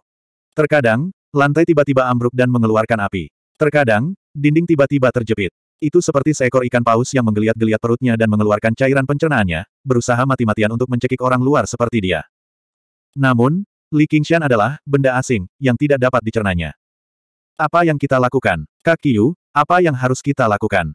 Roda kapal memantulkan segalanya dengan tepat. Melihat Li Qingshan bergegas, Jiang Sancheng berkeringat deras. Dia masih memiliki kesadaran diri. Dia hanyalah seorang penggarap yayasan pendirian awal. Dia hanya berhasil mencapai yayasan pendirian hanya karena keberuntungan. Namun, Li Qingshan telah bertarung melawan tiga dari mereka sendirian, membunuh dua penggarap yayasan pendirian dan hampir membunuh mendiang penatua tanaman anggur hijau pendirian yayasan. Dia adalah Dasmon celaka dengan reputasi yang kejam. Aku tidak tahu. Begonia juga tahu dia mungkin tidak akan mampu bertahan hari ini, tapi dia malah tetap tenang. Jika aku mati di sini, aku akan membuat orang tak berperasaan itu menyesal seumur hidupnya. Oh benar, seni pesonamu mungkin berhasil. Jiang Sancheng segera mengeluarkan setumpuk jimat dan menempelkannya di pintu kabin. Aku akan menggunakan seni pesonaku untuk menarik perhatiannya sehingga kamu bisa menggunakan kesempatan ini untuk melarikan diri, kan? Jiang Sancheng menjadi sedikit canggung setelah Begonia mengungkap rencananya. Dia ingin mencoba dan membujuknya sebaliknya. Ledakan. Dengan suara gemuruh yang hebat, pintu kabin yang berat itu tiba-tiba ambruk, membuat serpihan kayu beterbangan ke mana-mana. Tulisan di pintu terpelintir. Di hadapan kekuatan yang menakutkan ini, mereka menundukkan kepala dan tunduk. Apakah ada orang di rumah? Setelah mengatakan itu, Li Qingshan melancarkan pukulan lagi dan retakan muncul di pintu kabin. Jika kamu di rumah, tolong buka pintunya, oke. Okay. Ledakan. Pintu kabin berada di ambang kehancuran. Suara dari luar terdengar seram dan gila, yang membuat Jiang Sancheng merinding. Tanpa berkata apa-apa lagi, dia meninggalkan begonia dan melarikan diri melalui jalan rahasia di sudut ruangan. Ledakan, pintu kabin terkoyak, dan pecahannya terlempar keluar. Iblis jahat dengan rambut merah sepanjang pinggang dan wajah kurang ajar muncul di depan pintu. Meskipun Kiyu Haitang mengabaikan kehidupan dan kematiannya sendiri, tekanan kuat itu masih menyebabkan pupil matanya mengecil. Mengapa begonia juga ada di kapal? Li Qingshan akhirnya mengerti dari mana aroma itu berasal, tapi dia menyerang tanpa ragu-ragu. Dengan cepat, dia tiba di hadapan Begonia dan meraih leher putih rampingnya. Hanya kamu. Kiyu Haitang menatap wajahnya dan tidak berbicara. Apakah kamu tidak takut aku akan membunuhmu? Li Qingshan agak penasaran. Begonia tidak menolak sama sekali. Dia bahkan tidak menggunakan seni pesona yang dia kuasai. Begonia mencibir dengan sedih. Li Qingshan menebak keseluruhan cerita dari ekspresi menyedihkannya yang seolah berkata, tidak ada yang bisa saya lakukan untuk mengatasinya. Kegilaan Hua Sengsan tidak berubah. Begonia telah jatuh cinta padanya, tapi dia tidak berperasaan. Li Qingshan melemparkannya ke samping dan membantingnya ke dinding. Setelah itu, dia mengerutkan hidungnya dan membuka jalan rahasia, mengejarnya. Jalan rahasia ditutup di belakangnya. Melihat bagaimana Begonia tidak mengejarnya, Jiang Sancheng menghela nafas lega. Selama dia membuatnya sibuk, dia bisa melarikan diri dari kabin. Dia melirik ke arah roda kapal kecil di tangannya. Mungkin masih ada kesempatan baginya untuk membalikkan keadaan. Kapal Soaring Dragon terus berlayar melintasi lautan awan di bawah bulan. Sebuah pintu kecil tiba-tiba terbuka di bagian belakang kapal, dan Jiang Sancheng menjulurkan kepalanya. Yang dia lihat hanyalah lautan awan yang berputar mundur. Dengan suara dentang, pedang spiritual tingkat tertinggi terbang keluar. Dia menginjaknya dan mengendarainya pergi. Dia melirik kemudi kapal di tangannya dan ragu-ragu. Meski ada peluang baginya untuk membalikkan keadaan, itu terlalu berbahaya. Apa pun, konsekuensi kehilangan kapal Soaring Dragon sangat parah, tapi selama dia masih hidup, masih ada harapan. Selama dia selamat, masa depannya akan tetap cerah. Dia tidak perlu mempertaruhkan nyawanya melawan Dasmon malang itu, jadi dia harus melarikan diri. Jiang Sancheng merasakan sesuatu dan tiba-tiba menoleh ke belakang. Yang dia lihat hanyalah dua titik cahaya merah di pintu rahasia. Oh tidak. Serangan kebenaran.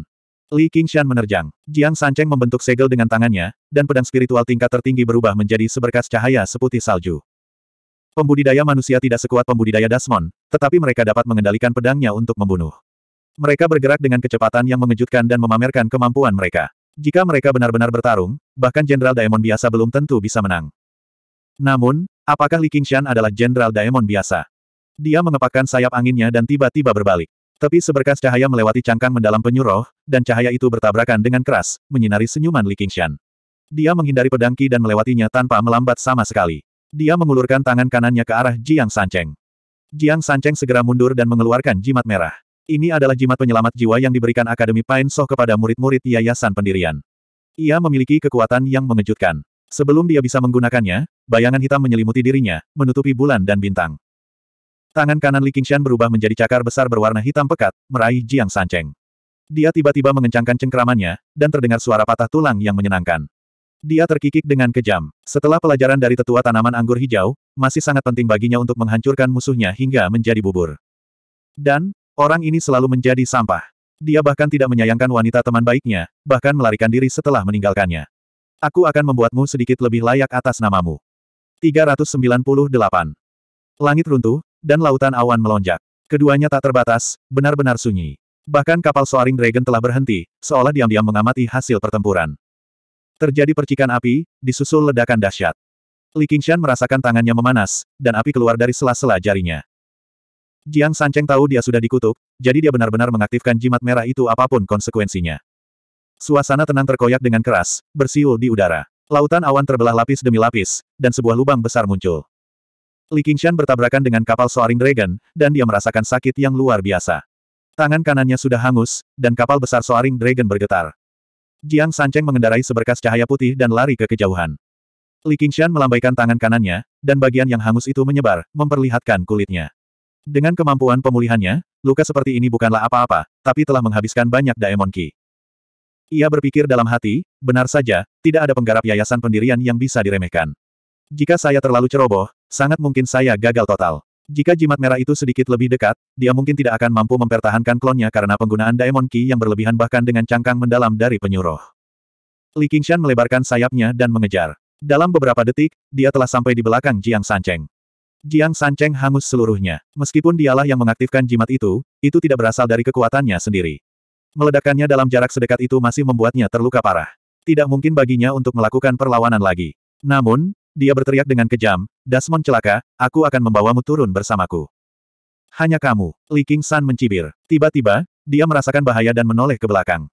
Pintu kecil terbuka di sisi kapal Soaring Dragon. Meriam hitam pekat yang tak terhitung jumlahnya menonjol keluar. Setitik cahaya berkumpul, dan meriam menjadi semakin terang. Di malam yang suram, seorang pemabuk berjalan di jalan kecil di pedesaan. Tiba-tiba, dia mendengar suara guntur. Jalan selalu licin di malam hujan. Dia melompat ketakutan dan jatuh ke tanah.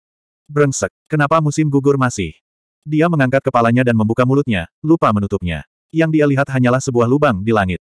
Lubang itu dipenuhi bintang, dan pilar cahaya perak menghubungkan langit dan bumi. Dia menelan ludahnya, tercengang dengan pemandangan aneh ini. Sebelum dia sempat bereaksi, lusinan sinar cahaya menembus awan, saling bersilangan. Dari jauh, itu setipis benang. Dalam sekejap mata, itu berubah menjadi seberkas cahaya dan mendarat tidak jauh darinya. Segera, itu menjadi lubang hitam tanpa dasar. Abadi, Tolong selamatkan hidupku, tolong selamatkan hidupku. Saya tidak akan minum lagi dan tidak akan memukuli istri saya. Kemabukannya telah hilang sama sekali, dan dia sangat ketakutan sehingga dia berlutut di tanah dan bersujud berulang kali. Mati. Kekuatan kapal Soaring Dragon bahkan mengejutkan Jiang Sancheng. Dia ditiduri kegirangan sambil mencengkeram kemudi kapal. Dia mengaktifkannya berulang kali. Kapal naga melonjak bukanlah kapal pengangkut, juga tidak digunakan untuk pamer. Sebaliknya, itu adalah kristalisasi kebijaksanaan dari banyak pengrajin keluarga Mo. Itu benar-benar sebuah mesin perang yang tak tertandingi. Li Qingshan mengepakkan sayapnya dan berusaha sekuat tenaga untuk terbang di antara pilar cahaya. Dia terbang lurus, bergerak ke samping, dan turun seratus kaki ke lautan awan. Cahaya itu mengejarnya tanpa henti, sama sekali tidak terpengaruh oleh awan. Itu tidak memberinya waktu untuk mengatur napas. Jiang Sancheng menatap lautan awan dengan hati-hati. Dia terbang menuju kapal Soaring Dragon dengan pedang terbangnya. Selama dia kembali ke kapal dan mengaktifkan formasi pertahanan, Daemon tidak akan bisa melakukan apa pun padanya lagi. Li Qingshan berbalik dengan cepat. Dia tidak berani berhenti sejenak pun, tapi dia menatap lurus ke arah Jiang Sancheng. Dia dengan santai mengambil sebuah benda dari kantong seratus harta karunnya, menimbangnya di tangannya, dan melemparkannya sekuat yang dia bisa. Jiang Sancheng baru saja hendak kembali ke kapal ketika seluruh tubuhnya terasa sakit seperti terkoyak. Dia merasa bisa pingsan kapan saja. Dia sangat gembira sekaligus panik. Dia terbang cepat dengan pedang terbangnya, tapi dia berhenti dan menundukkan kepalanya karena tidak percaya. Sebuah tombak berlumuran darah telah menembus dadanya. Di belakangnya, sebuah bendera besar berkibar. Ternyata, apa yang dilontarkan Li Qingshan pada saat kritis adalah sebuah bendera besar. Yang menusuk Jiang Sancheng adalah tiang benderanya.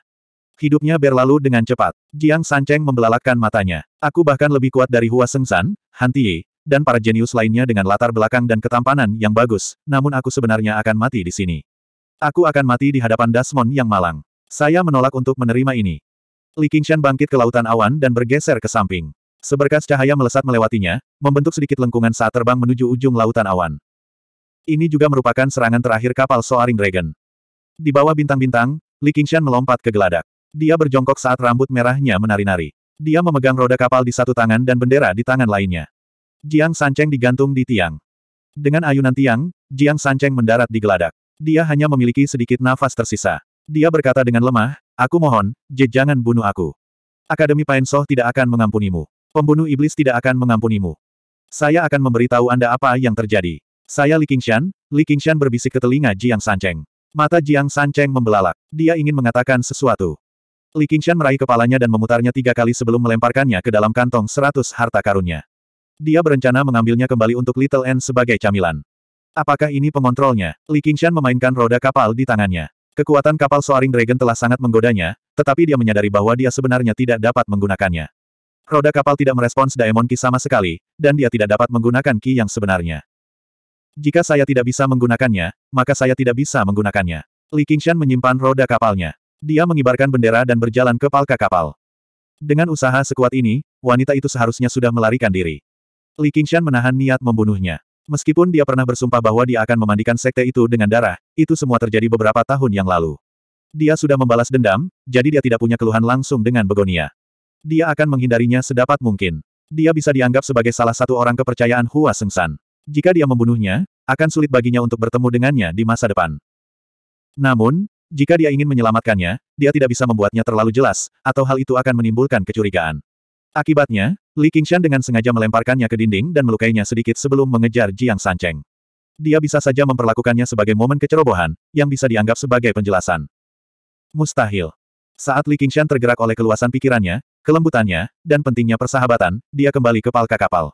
Dia melihat Begonia masih ada di sana. Begonia sepertinya tidak merasakan kepergiannya atau kepulangannya sama sekali. Dia hanya peduli tentang minum sendiri, dan dia bahkan tidak bertanya tentang nasib Jiang Sancheng. Seolah segala sesuatu di dunia luar tidak ada hubungannya dengan dia. Kamu tidak melarikan diri, Li Qingshan bertanya dengan tidak percaya. Bisakah saya? Begonia membalas dengan sebuah pertanyaan. Sebenarnya, setelah Li Qingshan pergi, dia mempertimbangkan untuk melarikan diri juga, tapi dia segera menepis pemikiran itu. Sekalipun dia melarikan diri, seberapa jauh dia bisa melangkah. Dengan kecepatannya, dia mungkin akan menyusulnya dalam sekejap. Tentu saja tidak, Li King San terkejut. Jika dia mengejarnya dengan sepenuh hati, akan sangat sulit bagi Begonia untuk melarikan diri. Dia tidak tahu bagaimana harus bereaksi. Saya telah membuat rencana brilian untuk mengampuni hidup Anda, namun Anda bahkan tidak menghargainya. Lalu kenapa lari? Jika kamu ingin membunuhku, bunuh aku. Jika aku membunuhmu hanya karena kamu menginginkanku, bukankah itu sangat memalukan? Li Qingshan berteriak. Dia mengambil sebotol alkohol dan meminumnya sekaligus. Cahaya di matanya berkedip-kedip seolah ingin menanggalkan pakaian begonia. Dia mencubit dagunya dan tersenyum cabul. Mainkan denganku dulu. Ini adalah rencana brilian kedua Li Qingshan. Bagaimanapun, dia tetaplah seorang wanita. Bahkan jika dia tidak takut mati, mustahil baginya untuk tidak takut pada hal seperti ini. Dia pasti akan mengatakan sesuatu seperti, jika kamu mendekat, aku akan bunuh diri, jadi dia akan mengikuti arus dan membiarkannya pergi untuk saat ini.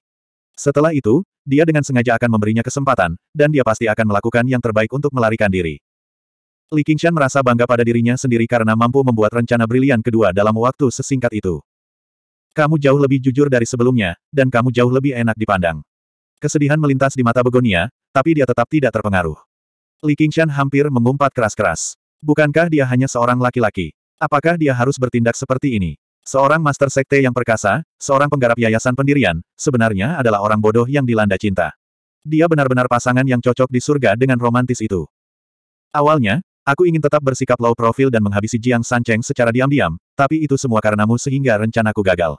Jika saya kembali dan menyebutkannya, itu mungkin akan menimbulkan kecurigaan pada Li Qingshan. Aku akan membunuh satu, aku akan membunuh dua. Karena kamu tidak ingin hidup lagi, aku akan memenuhi keinginanmu. Untuk satu sen, untuk satu pon. Aku akan membungkamu. Li Qingshan mengerutkan kening dan niat membunuh melonjak. Dia menyeringai, memperlihatkan taringnya yang panjang. Dia merasa ingin menggigit leher cantiknya dalam satu gigitan. Begonia hanya memejamkan mata, siap menerima penghinaan yang akan datang. Tiba-tiba, dia memikirkan Hua Sengsan dan merasa getir di dalam hatinya. Dia sangat disayangkan, jadi mengapa dia harus membuatnya semakin sedih. Dia sebaiknya pergi dengan kepolosannya. Air mata bening mengalir dari sudut matanya. Dia akan menggunakan ki spiritualnya untuk mengakhiri hidupnya sendiri. Li Qingshan bergidik di dalam. Apa yang salah dengan saya? Mengapa niat membunuhku begitu berat? Kekuatan penyuruh masih melampaui iblis sapi dan iblis harimau dengan sempurna. Seharusnya tidak seperti ini. Perasaan ini seperti belenggu di lubuk hatinya yang terdalam telah lenyap. Dia melihat sekeliling dan tiba-tiba mengerti apa yang dia lewatkan, N kecil. N kecil tidak ada di sisinya, jadi dia tidak mau memberi contoh. Dia seperti kuda liar yang lepas kendali. Dia hampir melepaskan diri dari belenggu terakhir, sifat manusia, dan menjadi Dasmon terus-menerus, tanpa rasa takut dan melakukan apa pun yang dia inginkan. Dia bahkan ingin menelanjangi begonia dan mempermalukannya tanpa kendali. Apa yang disebut moral sangatlah rapuh di hadapan kekuasaan absolut. Lingkungan yang tidak berpenghuni hanya mendorong tumbuhnya kegelapan. Membosankan. Begonia terkejut. Dia membuka matanya dan melihat Li Qingshan mundur ke belakang meja. Dia mengambil botol alkohol dan mulai meneguknya. Wanita yang tidak melawan bahkan lebih membosankan daripada musuh yang tidak melawan. Kata Li King San. Jika saya menjadi seperti itu, hak apa yang saya miliki untuk mengajar Little N? Hak apa yang Anda miliki untuk berbicara tentang kebebasan ketika Anda sedang dikendalikan? Bukankah itu membuatku lebih buruk daripada wanita gila itu, Qian Rongxi? Ikut denganku. Li Qingshan keluar dari kabin. Begonia mau tidak mau mengikutinya. Apa yang coba dilakukan Dasmon ini? Menangkap. Sesampainya di geladak, Li Qingshan melemparkan sesuatu. Begonia menangkapnya dan melihatnya. Itu adalah kapal kecil. Li Qingshan menyilangkan tangannya. Jika kamu membantuku, aku akan mengampuni nyawamu. Aku berjanji tidak akan menyentuhmu sedikit pun. Ke mana kamu mau pergi? Meskipun pikiran Begonia sedang kacau sekarang karena harapannya selama bertahun-tahun telah pupus, dia tetaplah seseorang yang telah berkultivasi selama bertahun-tahun. Tekadnya kuat, terutama setelah apa yang baru saja terjadi. Keinginannya untuk hidup malah melonjak, memungkinkannya memulihkan ketenangannya yang biasa. Li Qingshan tersenyum. Gunung Anggur Hijau. 399. Li Qingshan menatap awan, ke arah Gunung Greenfin. Lagi pula dia sudah mempermasalahkan hal ini, jadi sebaiknya dia menutupinya dengan sesuatu yang lebih besar. Fu Qingjin, mari kita lihat apakah aku layak membawa sepatumu atau tidak. Kamu ingin membunuh tetua tanaman anggur hijau. Begonia khawatir. Dia masih belum puas membunuh murid Akademi Pain So, Jiang Sancheng. Tidak, mungkin ini adalah tujuan awalnya. Dia ingin mencegat kapal Soaring Dragon dan menghancurkan formasi pelindung Gunung Greenfin. Itu benar. Li Qingshan awalnya memunculkan ide ini secara mendadak. Semakin dia memikirkannya, semakin dia menganggapnya sebagai ide yang bagus. Dia telah mendengar bahwa pembunuh iblis telah menjatuhkan formasi disintegrasi dualitas di Gunung Greenfin. Itu sangat mengesankan, sehingga dia bisa menggunakan kapal Soaring Dragon untuk menghancurkannya. Fu Qingjin, jika kamu cukup berani untuk menghadiri jamuan makan, aku akan membuat tetua tanaman anggur hijau mati untukmu. Jika aku membantumu, bukankah aku akan menjadi orang berdosa? Tidak mungkin lebih buruk dari kematian, kan? Kenapa aku tidak tahu apakah kamu akan menepati janjimu atau tidak? Begonia mengamatinya. Sepertinya kamu tidak punya banyak pilihan. Li Qingshan menyeringai, memperlihatkan taringnya. Baiklah kalau begitu. Begonia tidak lagi ragu-ragu. Seperti yang dia katakan, dia tidak punya pilihan sama sekali. Alasan lainnya adalah dia merasa pria itu tidak memiliki niat buruk terhadapnya karena alasan tertentu. Perasaan ini sungguh tidak masuk akal. Apa hanya karena penampilannya yang luar biasa dan tak kalah tampan dengan Hua Sengsan? Dia menggelengkan kepalanya. Bukannya dia benar-benar tergila-gila padanya. Di bawah kendali Begonia, kapal Soaring Dragon perlahan berbalik dan membelah awan, terbang ke arah Gunung Greenfin. Li Qingshan duduk di atas kepala naga di depan kapal. Angin sepoi-sepoi mengacak-acak rambut merahnya, serta gaun Begonia di dekatnya. Dia menatap punggungnya. Apa yang terjadi malam ini sungguh aneh. Benar-benar tidak dapat dibayangkan. Dia tidak pernah menyangka Hua Seng San akan menolaknya. Dia tidak pernah berpikir bahwa dia akan hampir dipermalukan oleh orang yang tercela. Dan sekarang, dia sebenarnya membantu Dasmon menyerang Gunung Greenfin. King Shan, King San, apa yang kamu tertawakan? Li Qingshan kembali sadar. Di aula yang terang benderang, Han Qiongzi duduk di sampingnya dan menatapnya dengan aneh. Han Qiongzi berkata, apa yang kamu pikirkan? Aku sudah melamun sejak tadi. Jue Chenzi dan yang lainnya juga menoleh dengan rasa ingin tahu. Apakah kamu memikirkan wanita lain? Goda Zidernot, sebagai murid utama sekolah musik, kata-katanya yang biasa pun tidak akan berubah. Mereka sepertinya memiliki ritme yang misterius, dan suara mereka sangat manis dan mengharukan. Dengan kecantikan seperti kakak senior Qin di sini, bagaimana aku bisa memikirkan wanita lain? Li King San tertawa. Pada saat ini, dua adegan terbentang di depan mata Li Qingshan. Yang satu berada di atas lautan awan, bulan dan bintang memenuhi langit. Yang lainnya adalah jamuan makan keluarga Hua, yang dipenuhi tamu-tamu terhormat. Sulit bagi orang luar untuk memahami makna di baliknya. Terima kasih atas pujianmu, adik muda. Qin Yin mengerutkan bibirnya dan tersenyum. Matanya tampak dingin dan penuh emosi. Dia awalnya adalah orang yang sangat menyendiri. Dia fokus pada musik dan tidak suka bersosialisasi dengan orang lain. Namun, di saat seperti ini, dia terpaksa menggunakan kelebihannya sebagai seorang kultivator wanita untuk berteman dengan beberapa tokoh kuat dari seratus aliran pemikiran. Begitu dia benar-benar mulai main-main, keluarga musik pasti akan terlibat sebagai salah satu dari seratus sekolah. Bahkan jika dia tidak membuat rencana untuk dirinya sendiri, dia harus mempertimbangkan adik perempuan dari keluarga musik. Li Qingshan ingin bercanda lagi. Han Qiongzi mencubit telinganya dan tersenyum. Jika bukan karena aku, apakah kamu masih berpikir untuk mengejar kakak perempuan Qin? Hem, bagaimana kamu tahu? Kalau dicubit terus, nanti jatuh. Semua orang tertawa terbahak-bahak. Namun, suara perselisihan terdengar dari sisi lain aula. Cantik, ayo minum bersama kami. Kami akan membiarkanmu pergi setelah minum. Hua Chenglu menyapa Hua Sengsan satu demi satu. Dia tiba di hadapan para murid sekte pakaian Vermilion. Seorang pria berjanggut lebat meraih pergelangan tangannya. Dia mabuk. Orang-orang lain di mejanya juga mabuk dan ikut keributan.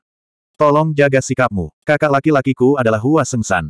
Hua Chenglu meronta, tapi dia tidak bisa melepaskan diri. Budidayanya baru berada di lapisan kelima, sedangkan pria sudah berada di lapisan kesembilan. Kakak kedua, biarkan saja. Ini keluarga Hua. Beberapa orang yang sadar mencoba membujuknya dengan lembut. Apa Hua Sengsan? Dia hanya sampah dari penjaga Hawk Wolf. Apakah dia cukup berani untuk menyinggung perasaanku, pembunuh iblis? Pria itu terkejut. Dia sedikit sadar dan mengatakan sesuatu yang kejam sebelum melepaskannya dengan canggung. Semua orang di aula memiliki telinga dan mata yang tajam. Para pengikut legalisme semuanya marah. Han Qiongzi mengerutkan kening, tapi dia tidak kehilangan kesabaran. Sejak Hua Sengzan memasuki budidaya terpencil, dia selalu menangani urusan penjaga Hawk Wolf. Dia sudah menjadi murid utama aliran legalisme, jadi sebelum dia menyadarinya, dia telah menjadi lebih berkepala dingin. Secara khusus, mereka akan memulai operasi besar. Jika mereka memperingatkan musuh, itu akan berdampak buruk. Bajingan sialan, ambil ini. Bang! Ada kilatan cahaya lima warna, dan Cutian muncul entah dari mana. Dia menggunakan telapak tangan lima elemen dan menghantamkannya ke kakak senior kedua. Kakak laki-laki kedua juga berada di lapisan kesembilan, tapi bagaimana dia bisa menyaingi Cutian yang mempraktikkan kelima elemen? Dia membanting meja sebelum membanting ke dinding dengan keras, batuk seteguk darah. Adik perempuan, kamu baik-baik saja. Cutian berbalik dan meraih tangan Hua Chenglu. Wajahnya dipenuhi kekhawatiran. Aula yang bising segera menjadi sunyi. Hua Chenglu tercengang. Siapa yang membutuhkanmu untuk menyelamatkan gadis yang kesusahan? Jika bukan karena gambaran yang lebih besar, jika dia tidak ingin merusak perayaan Hua Sengsan, apakah keluarga Hua akan kekurangan tuan hanya dengan satu kata darinya? Jika kakak laki-laki kedua melanjutkan, bahkan kakak laki-laki pertama tidak akan hanya duduk dan menonton, membiarkan dia menyinggung keluarga Hua. Hanya kamu sampah. Kenapa kamu tidak melihat di mana kamu berada? Cutian mengutuk dengan keras. Ternyata, kebodohan orang ini bukan hanya ditujukan padaku. Li Qingshan merasa geli di dalam hati. Dia merasa jauh lebih baik karena suatu alasan. Kemampuan mengejek bajingan ini sungguh mengesankan. Ekspresi para murid sekte berubah, dan mereka semua berdiri. Suasana langsung menjadi tegang. Selingan kecil segera berkembang menjadi masalah besar. Kakak laki-laki kedua menggelengkan kepalanya dan kembali sadar. Dia sangat marah, dan wajahnya memerah. Dia menghunus pedangnya dan mengayunkannya ke arah Cutian. Cutian mencibir. Sampah adalah sampah. Ini adalah kesempatan bagus baginya untuk pamer. Cahaya lima warna muncul, dan dia tidak lupa tersenyum pada Hua Chenglu. Jangan khawatir, adik perempuan. Aku di sini. Ludun, mundurlah. Cutian, berhenti. Dua suara terdengar. Dua sosok, satu merah dan satu putih, pada dasarnya tiba bersamaan dengan suara-suara itu. Yang satu meraih bagian belakang pedang Ludun, sementara yang lain meraih bahu Cutian. Ludun dan Cutian sama-sama orang yang sombong, tetapi ketika mereka melihat mereka berdua, mereka hanya bisa berhenti dan menyebut mereka sebagai kakak. Kedua kakak beradik itu saling memandang dan melaporkan nama mereka. Jin Fei Peng dari Sekte Pakaian Vermilion. Wei Yangsheng dari Sekolah Konfusianisme. Mengapa kamu menyakiti bangsaku? Itu hanya kesalahpahaman. Sepertinya murid sektemu yang terhormat memiliki kultivasi yang mengesankan, jadi mereka baik-baik saja. Berhenti di situ saja. Salah paham. Lalu mengapa kita tidak membalas pukulan telapak tangan untuk menyelesaikan kesalahpahaman tersebut? Bagaimana menurut Anda, kawan? Tentu saja tidak. Ini mungkin kesalahpahaman, tapi itu hanya demi sekte Anda yang terhormat. Ini sebenarnya sebuah pelajaran. Tak satu pun dari mereka ingin mempermasalahkannya, namun mereka tetap bentrok secara verbal. Tak satu pun dari mereka ingin kalah. Li Qingshan duduk di sudut dan memperhatikan dengan penuh minat.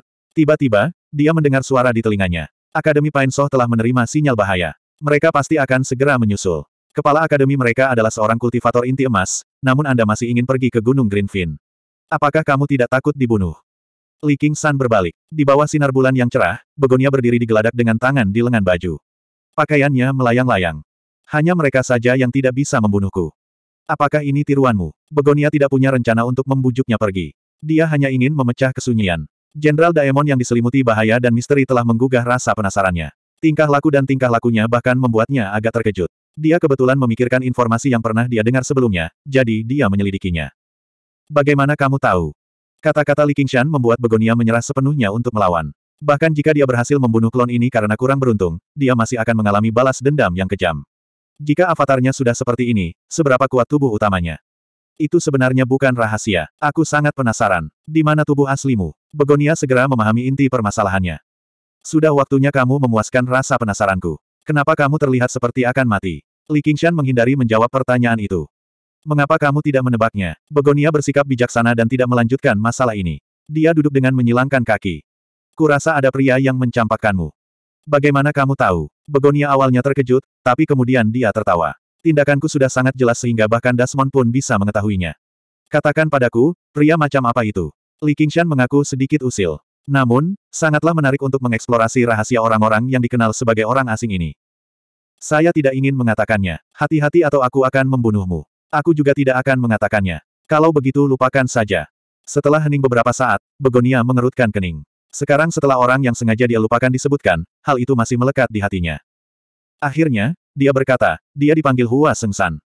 Dari kalimat pertama dan seterusnya, sisa kata-katanya seperti bendungan yang runtuh. Dia menuangkannya tanpa henti, mulai dari tergerak oleh pertemuan kebetulan hingga tergila-gila menjelang akhir. Tatapannya melewati Li Qingshan dan mencapai tempat yang sangat jauh dan kabur. Mungkin dia tidak lagi peduli siapa orang di hadapannya. Dia hanya ingin bicara. Daemon tidak memahami hal-hal ini. Sebenarnya aku sudah memberitahumu begitu banyak. Begonia tersenyum dengan sikap mencela diri sendiri. Jiang Sancheng hanya ingin memanfaatkannya saat dia terjatuh, namun pada akhirnya, dia benar-benar mendengar tentang Dasmon yang hampir membunuhnya. Nasib sungguh tidak dapat diprediksi. Tentu saja, jika itu adalah manusia, seorang teman, yang ingin mendengarkan apa yang dia katakan, itu adalah hal yang mustahil. Bahkan jika aku memberitahu lubang pohon apa yang ada dalam pikiranku, aku akan merasa jauh lebih baik. Li King San tersenyum. Awalnya, dia meremehkan perilakunya, tapi menjelang akhir, dia sebenarnya hanya bisa menghela nafas sedikit. Begonia terkejut. Benar saja, dia merasa jauh lebih baik, yang membuatnya semakin terkejut. Apakah Daemon peduli dengan perasaannya? Dan kenapa Dasmon tidak mengerti? Sosok Han Qiongzi muncul di kepala Li Qingshan, dan dia tersenyum. Qingshan, lakukanlah. Han Qiongzi menyenggol Li Qingshan. Apa yang harus aku lakukan? Oh, aku tahu. Li Qingshan terkejut sebelum mencapai pemahaman. Meskipun dia baru saja memperhatikan cerita Begonia, dia tetap memperhatikan sisi ini. Jin Fei Peng dan Wei Yang Sheng terlibat adu mulut, perlahan-lahan menjadi marah. Mereka menolak untuk membiarkannya begitu saja. Saat ini, Hua Sengzan dan Master Sekte Pakaian Vermilion turun untuk menengahi. Mereka ingin menetapkan topik dan bersaing satu sama lain. Itu tidak akan merusak hubungan mereka, dan juga akan menghidupkan suasana perjamuan. Yang kalah harus meminta maaf dan mengakui kesalahannya. Di kapal Soaring Dragon, Begonia memandang Li Qingshan sambil tersenyum saat dia tenggelam dalam ingatannya. Dia terdiam untuk waktu yang sangat lama. Dia merasa sangat tidak seimbang. Apakah Daemon pun memiliki perasaan yang tak terlupakan akhir-akhir ini? Langit terlalu tidak adil bagiku. Oi, kita sudah sampai di Gunung Greenfin. 400. Kerumunan terpecah menjadi dua sisi. Li Qingshan berjalan ke tengah dan bertanya, kamu ingin berkompetisi apa? Bersaing dalam kekuatan. Kalian tidak diperbolehkan saling menyerang. Siapa pun yang meninggalkan lingkaran ini akan kalah. Jangan bilang kaulah yang akan berkompetisi. Jin Fei Peng menggambar dengan jarinya dan sebuah lingkaran seukuran meja bundar muncul di lantai. Kemudian, dia mengangkat alisnya dan menatap Li Qingshan dengan penuh minat. Ketika para murid melihat bahwa Li Qingshan baru berada di lapisan ke-8 pelatihan Qi, mereka semua menunjukkan ekspresi menghina. Kekuatan hanyalah sebagian dari kekuatan. Qi adalah yang paling penting. Di antara praktisi Qi, perbedaan antara setiap lapisan adalah kesenjangan kekuatan yang sangat besar. Itu juga menentukan tingkat temper tubuh. Tanpa nutrisi Qi, menekan tubuh secara paksa tidak hanya bermanfaat tetapi juga berbahaya. Ini adalah pengetahuan umum di dunia budidaya. Saya pikir seratus aliran pemikiran itu luar biasa, tetapi ternyata hanya biasa saja. Mereka bahkan tidak dapat menemukan seorang kultivator penempat tubuh yang layak dan membiarkan orang ini keluar untuk dipermalukan. Ya, mari kita tunggu pertunjukan yang bagus. Kita memiliki kakak laki-laki itu di pihak kita. Para murid dari seratus aliran pemikiran semuanya telah melihat kekuatan Li Qingshan. Mereka membalas dengan keras dan beberapa bahkan berteriak, saudara senior Li akan menang. Untuk sesaat, pemandangannya sangat bising. Tiba-tiba, sesosok tubuh berdiri dari kerumunan. Itu adalah raksasa setinggi sembilan kaki. Ternyata dia sudah duduk di sana sepanjang waktu. Sepertinya tingginya hampir sama dengan orang yang berdiri di sampingnya. Raksasa itu berjalan keluar dari kerumunan dan tiba di depan Li Qingshan, menimbulkan bayangan besar. Kultivasinya berada pada pelatihan kilapisan ke-10, mirip dengan kakak laki-laki tertua. Matanya seperti lonceng tembaga, mulutnya seperti mulut harimau, dan hidungnya seperti hidung singa. Otot-otot di tubuhnya menonjol. Lengannya benar-benar bisa menggerakkan kuda dan tinjunya bisa berdiri di atasnya. Dia dipenuhi aura yang berat dan kuat, terutama tonjolan di dahinya. Dia tampak lebih arogan dan galak. Dia menatap Li Qingshan dari atas dengan senyum menghina di wajahnya. Kudengar kamu ingin bersaing denganku dalam hal kekuatan. Kebisingan itu berhenti dan para murid tertawa terbahak-bahak. Meskipun Li Qingshan bertubuh tinggi, berdiri di depannya, dia terlihat kurus dan lemah. Para murid dari seratus aliran pemikiran menjadi tenang dan saling memandang. Mereka tidak lagi memiliki kepercayaan diri yang mereka miliki saat ini. Jin Fei Peng tersenyum. Dialah yang mengajukan pertanyaan ini. Dia bertekad untuk menang. Seni membelah gunung badak bertanduk dari gunung badak bertanduk. Dikatakan bahwa ketika dikultivasikan secara ekstrim, seseorang akan memiliki kekuatan untuk membelah gunung. Dia agak lambat, tapi tidak ada alasan baginya untuk kalah dalam kompetisi semacam ini. Li Qingshan melihat Hua Sengzan di tengah kerumunan dan tersenyum padanya. Kak, aku sudah banyak mendengar tentangmu. Hua Sengzan bingung dengan tawanya. Dia mengangguk untuk memberi isyarat agar dia berhati-hati, tapi sepertinya dia linglung. Dia sedang memikirkan tentang begonia. Aku berbicara padamu. Pria besar itu memelototinya dengan matanya yang seperti lonceng. Saya adalah murid kepala sekolah novel, Li Qingshan. Mari kita mulai. Li Qingshan berbalik dan menggenggam tangannya. Meskipun dia menyebut dirinya sebagai, yang ini, dia bahkan tidak menyebut nama atau sekte pihak lain. Dia bahkan lebih linglung dibandingkan Hua Sengsan. Mau bagaimana lagi? Tidak mudah untuk melakukan banyak tugas. Suaranya memudar. Semburan tawa mengejek datang dari sisi lain. Apa? Murid sekolah novel. Apakah ada sekolah seperti itu di antara seratus sekolah? Li Qingshan hendak mengatakan sesuatu yang lebih mengejek, tetapi suara begonia terdengar jelas di telinganya, jadi dia menutup mulutnya. Dia berdiri di tengah lingkaran dengan santai. Datang. Setelah dia selesai berbicara, dia menutup matanya juga. Dia benar-benar sombong. Pria besar itu menjadi marah. Dia ingin menggunakan pertempuran ini untuk meningkatkan reputasi Gunung Badak Tanduk besar di antara pembunuh iblis dan mendapatkan lebih banyak keuntungan, namun lawannya tidak memberinya kesempatan. Sepasang tangan seperti kipas meraih bahu Li Qingshan. Dia tidak terburu-buru mendorong Li Qingshan keluar dari lingkaran. Pria bertubuh besar itu tersenyum kejam dan memutuskan untuk mematahkan puluhan tulang di tubuh Li Qingshan. Qingshan, jantung Han Qiongzi berdetak kencang. Meskipun dia percaya diri pada Li Qingshan, dia merasa dia terlalu ceroboh. Pria bertubuh besar itu mengerahkan kekuatan salehnya pada Li Qingshan, tetapi cibiran di wajahnya perlahan menghilang. Tidak peduli berapa banyak kekuatan yang dia berikan, itu tidak berguna. Tubuh anak laki-laki ini seratus kali lebih keras dari besi kasar. Karena dia berani keluar dan bertarung, dia benar-benar memiliki beberapa keterampilan. Jangan buang waktu. Ayo kita akhiri ini secepatnya. Master Sekte Pakaian Vermilion sedikit tidak sabar. Meskipun dia ceroboh, aku akan mengusirnya dan membiarkannya tersungkur. Dengan begitu, aku bisa melampiaskan sebagian kebencianku. Pria besar itu tidak lagi memandang rendah Chu Feng. Dia meraung, dan suaranya seperti guntur di tanah datar. Lengannya menonjol dan dia mendorong dengan sekuat tenaga. Chu Feng tidak bergerak sama sekali. Li King San tersenyum tipis. Matanya tertutup rapat, dan dia tampak begitu damai hingga dia seperti tertidur. Ekspresi pria bertubuh besar itu berubah drastis. Dia menggunakan seluruh kekuatannya untuk mendorong dan menarik. Namun, tidak ada gunanya sama sekali. Setetes keringat dingin muncul di keningnya. Li Qingshan berdiri di sana dengan santai, tapi dia tampak seperti paku yang ditancapkan ke tanah. Ini jelas bukan hanya karena kekuatannya. Setelah mencapai lapisan ketiga dari iblis lembu dan menjalani kesengsaraan surgawi, dia merasa seperti telah mengembangkan hubungan yang mendalam dengan bumi. Khususnya, ketika dia berdiri di tanah, dia merasa seperti menyatu dengannya. Dari sinilah kemampuan bawaan, kekuatan bumi, berasal. Tidak peduli seberapa kuatnya pria besar itu, bagaimana dia bisa mengguncang bumi yang tak berbatas. Akibatnya, Li Qingshan tidak terlalu memperhatikan pertandingan ini, dia juga tidak perlu memperhatikannya. Pikirannya telah kembali ke kapal Soaring Dragon sejak lama. Apakah ada seseorang yang kamu cintai? Mata Begonia berkedip. Apa yang kamu katakan tadi? Apakah kita sudah sampai di Gunung Greenfin? Li Qingshan menatap ke bawah. Yang dia lihat hanyalah lautan awan. Lapisan awan tebal menutupi segalanya. Begonia mengangkat roda kapal di tangannya, dan roda itu bersinar terang, membentuk peta tiga dimensi. Ada titik yang berkedip-kedip. Itu adalah kapal Soaring Dragon, dan gunung di bawahnya adalah Gunung Greenfin. Segera turun. Li San sangat gembira. Dia melompat dan melambaikan tangannya. Namun, kapal Soaring Dragon tidak turun bersamanya. Li Qingshan menoleh ke belakang dengan cemberut. Ku bilang turun. Aku bertanya padamu, apakah ada seseorang yang kamu cintai? Begonia sangat penasaran. Jika dia tidak melihatnya dengan matanya sendiri, dia akan kesulitan untuk percaya bahwa Desmond benar-benar bisa memiliki ekspresi seperti itu. Oleh karena itu, dia sangat ingin memahami cerita di dalamnya. Dibandingkan dengan ini, bahkan menyerang Gunung Greenfin sepertinya tidak penting lagi. Tentu saja, segera turun. Li Qingshan menghentakkan kakinya. Kalau begitu katakan padaku, apakah kamu mencintainya? Apakah dia mencintaimu? Apakah kalian berdua bersama? Begonia mengejar tanpa henti. Ya, ya, ya. Kita akan bersama selama sisa hidup kita. Apakah kamu sudah selesai? Cepat turunkan benda ini. Kamu sangat beruntung. Lebih beruntung dariku. Begonia menghela nafas dengan lembut. Roda kapal berputar, dan kapal Soaring Dragon perlahan turun. Huff, karena aku tidak akan gantung diri di satu pohon pun sepertimu. Li Qingshan sudah bersiap untuk menikmati ekspresi tercengang dari tetua tanaman anggur hijau. Bagaimana apanya, bukankah dia yang paling kamu cintai? Li Qingshan bergidik, dan kapal Soaring Dragon tiba-tiba berhenti. Tatapan Begonia agak bersemangat, tapi juga agak bingung. Dia hanya menginginkan jawaban. Apa yang sedang kamu lakukan?